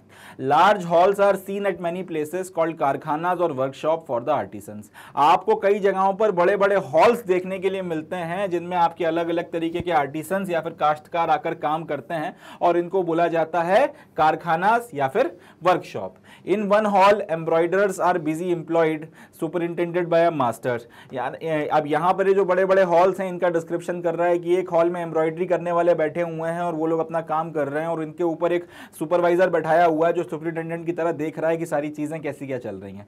दूसरे हॉल में यू सी गोल्ड स्मिथ्स अब दूसरे हॉल में जो है वो सोने का काम करने वाले सुनार बैठे हुए हैं। तीसरे हॉल में आपके पेंटर्स बैठे हुए हैं जो पेंटिंग्स बना रहे हैं। चौथे हॉल में वर्निशर्स बैठे हुए हैं जो लैक्यूर का वर्क कर रहे हैं। थोड़ा सा समझा देते हैं। लैक्यूर का मतलब होता है आपका चमकदार या फिर चमकीला सा एक पदार्थ होता है जिसको आप लगाते हो किसी चीज़ के ऊपर तो फिर वो सूखने के बाद में शाइन करता है या फिर ग्लेज करता है। अब इस तरीके के लिक्विड को बोला जाता है लैक्यूर और इसको अगर किसी चीज़ पर आप लगा के इस तरीके से सुखाते हो कि वो बाद में चमके या फिर शाइन करे तो उसको बोला जाता है लेक्यूर वर्क ठीक है? और इसका काम करने वाले क्या कहलाते हैं? इसका काम करने वाले कहलाते हैं वर्निशर्स तो ये जो लिखा हुआ है वर्निशर्स इन लेक्यूर वर्क इसका मतलब क्या हो जाएगा? वो चमक, चमकीला सा जो पदार्थ होता है, उसको लगा के किसी भी चीज़ को ग्लेजिंग देने, जो ग्लेज दिया जाता है, उसका काम करने वालों को वर्निशर बोला जाता है और ये सारा का सारा काम कहलाता है लेक्यूर वर्क ठीक है जी? इसके अलावा in a fifth joiners turners tailors and shoe makers इसी तरह से जो दूसरे दूसरे आपके कारखानों के हॉल्स हैं, उसमें किसी में कोई ज्वाइनर बैठा हुआ है, कोई आपका टर्नर है, कोई ट्रेलर है, कोई आपके जूते बना रहा है। सिक्स में manufacturer manufacturers of silk brocade and fine muslins अब बाकी जो छठवा वाला कॉलम है या छठवा वाला हॉल है, उसमें आपका सिल्क का काम हो रहा है कॉटन का काम हो रहा है। मुस्लिम का जो कपड़ा है, वो बनाया जा रहा है। इस तरीके से अलग अलग चीज़ें जो है, उनका काम आपका हो रहा है। अब इतना डिटेल में कारखानों का ज़िक्र आपको कहीं और किसी का किसी के वर्क में देखने के लिए नहीं मिलता। इसीलिए ये बोला जाता है कि इंपीरियल कारखानों के बारे में मुगल सोर्सेस के अलावा अगर कोई ऐसा बाहर का बंदा आया जिसने डिस्क्रिप्शन किया तो वो सिर्फ़ आपका बर्नियर ही है। बाकी लोगों ने इतना ज़्यादा इस पर या तो गौर नहीं फरमाया या फिर इन लोगों को एक्सेस नहीं मिला होगा इन कारखानों में अंदर जाने का, कि वो लोग जाके देख के बता सकते हैं कि अंदर क्या चल रहा है, क्या नहीं चल रहा। खैर the artisans come every morning in their karkhanas where they remain employed the whole day अब ये जो आर्टिसंस हैं, हर सुबह अपने कारखानों में आते हैं और ये दिन भर वहाँ पर काम करते हैं, ये दिन भर वहाँ पर एम्प्लॉयड रहते हैं, दिन भर वहाँ पर अपना काम वगैरह करते हैं। And in the evening return to their homes और ये रात के वक्त में या शाम के वक्त में ये लोग अपने घर लौट जाते हैं। In this quiet regular manner their time glides away अब ये जो शांत रेगुलर तरीका है, रोज आओ, रोज अपना काम करो और करके चले जाओ, इस तरीके से इनका जो टाइम है, निकल जाता है इनकी जिंदगियाँ कट जाती हैं। No one aspiring for any improvement in the condition of life और इनमें से कोई भी ये नहीं चाहता कि इनकी ज़िंदगी में किसी तरीके का कोई बदलाव है wherein they happen to be born और जिस जगह ये रह रहे हैं, जिस जगह पैदा हुए हैं, वहीं ये मर जाते हैं। या वहीं इनकी जिंदगियाँ कट जाती हैं और ये बिल्कुल नहीं चाहते कि उसमें कोई खास इंप्रूवमेंट या किस, किसी तरीके का बदलाव है यहाँ से हिंदुस्तान की एक बहुत आप कह सकते हैं स्टार्क रियलिटी समझ में आती है कि इंडियंस जनरली डोसाइल होते थे। इंडियंस जनरली जो है इक्विलिब्रियम के साथ में रहने वाले लोग थे। जनरली वो नहीं चाहते थे कि ज़िंदगी में किसी तरीके का बदलाव है जैसा चल रहा है उसी तरह से चलता रहे तो सब ठीक रहेगा। इस तरीके का जो माइंडसेट था उसके कारण जो है जनरली आपको देखने को मिलता है सोसाइटी इन लार्ज स्टैगनेंट थी या बहुत कम बदलाव आपको कई सौ सालों में कम अज़ कम मीडिवियल टाइम पीरियड में देखने के लिए मिलते हैं। हो सकता है इन्वेजन वगैरह के कारण ऐसा हो कि हम इनवर्ड लुकिंग हो गए हो, मगर यहाँ पर जो बर्नियर ने एक बात बताई है, इसमें कोई डाउट की बात नहीं। मीडिवल टाइम पीरियड में इंडियन सोसाइटी का नेचर ऐसा था कि आप बदलाव नहीं चाहते थे। आप बस संतुष्टि से और सुकून से आप चाहते थे कि ज़िंदगी चलती रहे, उसमें कोई खास परेशानियाँ ना है ये चीज़ एक है जो सिर्फ़ ना सिर्फ़ आपके बर्नियर ने ऑब्ज़र्व किए बट कई सारे हिस्टोरियंस ने इसको या फिर कई सारे आपके ट्रैवलर्स ने इस बारे में पॉइंट आउट किया था। तो खैर, ये जो है इंपीरियल कारखानों का ज़िक्र है, जो आपको बर्नियर के अकाउंट्स या रिकॉर्ड्स में देखने के लिए मिलता है। तो इसी के साथ में अपना ये जो टॉपिक है, जिसके जिसमें हम लोगों ने आपका बर्नियर का जो डिटेल अकाउंट है और इसमें किस तरीके से हिंदुस्तान को डेनिग्रेट करने की कोशिश कर रहा है, मगर फिर भी पूरी तरह से कामयाब नहीं हो पाता, ये हम लोगों ने डिटेल में पढ़कर ख़त्म किया है। चलें, आगे बढ़ते हैं। So with this we come to the end of the session आज का जो अपना सेशन है, इसमें अपन लोगों ने बर्नियर के बारे में और उसका जो डिटेल्ड अकाउंट है, जिसमें उस ईस्ट को उसने पूरी तबीयत से डेनिग्रेट किया, उसके बारे में हम लोगों ने पढ़कर ख़त्म किया। साथ ही साथ हम लोगों ने ये देखे कि किस तरीके के कॉन्ट्राडिक्शंस या पैराडॉक्सेस वगैरह उसने जनरेट किए थे, जिनकी मदद से हमको समझ में आया कि पूरी तरह से हकीकत जो है वो नहीं लिख रहा। बट फिर भी रीडिंग बिटवीन द लाइन्स कर कर हम लोग अल्टीमेटली उसमें से कितनी जो है हकीकतें निकाल पाए और किस तरीके से हम लोगों ने उस वक्त भी यूरोपियंस की जो नस्लीय श्रेष्ठता की भावना थी। उसके एसेंस को पकड़ा है, वो सारी बातें हमको समझ में आई। तो आज का सेशन जो है, इसमें इतना ही था। ये टॉपिक हम लोगों को पढ़कर ख़त्म करना था और हमने इसको इसकी इंटायरिटी में देखकर समाप्त किया। मगर ख़त्म करने के पहले मैं आप लोगों को बताना चाहूँगा कि आप लोग मैग्नेट ब्रेन्स की हमारी वेबसाइट पर जाएँ। यहाँ पर क्लास वन से लेकर क्लास ट्वेल्थ तक और इसके अलावा काफ़ी सारे दूसरे आपके कॉम्पिटेटिव एग्जामिनेशन का सिलेबस आपको फ्री ऑफ़ कॉस्ट डिटेल में देखने के लिए मिल जाता है। जैसे कि आप अगर जाते हैं मैग्नेट ब्रेन्स की वेबसाइट पर अब आपने यहाँ पर जाके क्लास ट्वेल्थ पे क्लिक किया। तो क्लास ट्वेल्थ के जितने कोर्सेज हैं, वो सब निकल कर जाएँगे। फिजिक्स हो गया फ़िज़िकल केमिस्ट्री हो गया और बाकी आपके दूसरे जो कोर्सेज हैं हिस्ट्री जोग्राफी पॉलिटी इकोनॉमी सारे के सारे कोर्सेज निकल कर आ जाएँगे। अब जैसे आपने लेट से इस पर क्लिक किया क्लास ट्वेल्थ की हिस्ट्री पर तो क्लास ट्वेल्थ की हिस्ट्री फिर आपका सिलेबस ओवरव्यू या फिर आपका जो इंडेक्स है, वहाँ से शुरू होगी और एकदम सीक्वेंस में जो है वो नीचे तक आपके सारे के सारे चैप्टर्स ऑर्डर तरीके से जमे हुए हैं। इसका फ़ायदा ये होगा कि जैसे यूट्यूब पर कई बार बच्चे शिकायत करते हैं कि प्लेलिस्ट ढूँढने में दिक्कत हो रही है, उस तरीके की प्रॉब्लम यहाँ पर नहीं आएगी। सब कुछ बढ़िया तरीके से अरेंज है। आपको किसी तरीके का कोई इशूज़ नहीं आएँगे। आप? एड्स का भी कोई प्रॉब्लम नहीं है यहाँ और सारा का सारा सिलेबस आप एकदम exclusively free of cost access कर सकते हैं तो यहाँ से आप एक कंटेंट को निकालिए, इसको पढ़िए, जितना आप पढ़ना चाहते हैं उतना आप पढ़िए, जितना आप सीखना चाहते हैं सीखिए, किसी तरीके की कोई रोक टोक नहीं है, कोई बंदिश नहीं है। इसके अलावा आप अगर इंग्लिश मीडियम से नहीं हैं, आप हिंदी मीडियम से हैं तो फिर उसकी भी जो है व्यवस्था यहाँ पर की गई है, आपको हिंदी मीडियम के लिए भी जो है कंटेंट यहाँ पर मिल जाएगा। स्पोकन इंग्लिश का भी कंटेंट है एन टी का ओलंपियाड का यूपी बोर्ड और जे आई बी और इसके अलावा आप और भी दूसरे जो कॉम्पिटेटिव एग्जामिनेशन है, उनका भी सिलेबस वगैरह आपको यहाँ पर अब देखने के लिए मिलने लगेगा। वक्त के साथ में धीरे धीरे मैग्नेट दूसरे भी जो आपके सिलेबस हैं, दूसरे भी आपके कोर्सेज हैं, उसमें वो वेंचर कर रहा है। तो वन स्टॉप सोल्यूशन के तौर पर ये स्रोत आपका रहेगा, जहाँ से आप अपने क्लास वन से लेके जितना भी आप आगे तक पढ़ना चाहते हैं, उसके सिलेबस को आप यहाँ पर कवर कर सकते हैं। तो इसी नोट पे I would be calling it the day and concluding the lecture तो जितना हो सके इन वीडियोस का फ़ायदा उठाइए। कंटेंट इस तरह से बनाया गया है कि आप लोगों को किसी भी तरीके की कोई दिक्कत नहीं आएगी, आपको सब कुछ समझ में आ जाएगा। बट फिर भी अगर कोई इश्यूज़ रहते हैं तो हमारे कॉन्टैक्ट करने के मेथड्स हैं। आप हमारे टेलीग्राम के चैनल्स पर जा सकते हैं। बाकी जो आपके चैनल्स वगैरह हैं, वहाँ पर जा सकते हैं या फिर आप नीचे कमेंट्स में लिख सकते हैं। यूट्यूब वगैरह पर जो भी आपका डाउट है, आपका डाउट वगैरह सॉल्व करवाया जाएगा और आपकी तैयारी पूरी तरह से अच्छी रहे। इस बात को इंश्योर करवाया जाएगा। तो मेहनत करें इस चीज़ का फ़ायदा उठाएँ अपने दोस्तों को भी इसके बारे में बताएँ और ज़्यादा से ज़्यादा जो है इसका प्रचार प्रसार करें। बाकी अपनी पढ़ाई लिखाई में लगे रहें पूरी शिद्दत से। ज़िंदगी में ज्ञान से बड़ा कोई हथियार नहीं होता नॉलेज से बड़ी आ, कोई ताकत या कोई नेमत नहीं होती है इस बात को समझें। मेहनत करते रहें ज़िंदगी में एग्ज़ाम्स में अच्छा परफॉर्म करते रहें ज़िंदगी में तरक्की के पथ पर चलते रहें। एंड मोस्ट इंपॉर्टेंटली जुड़े रहें मैग्नेट ब्रेन के साथ। थैंक यू जय हिंद।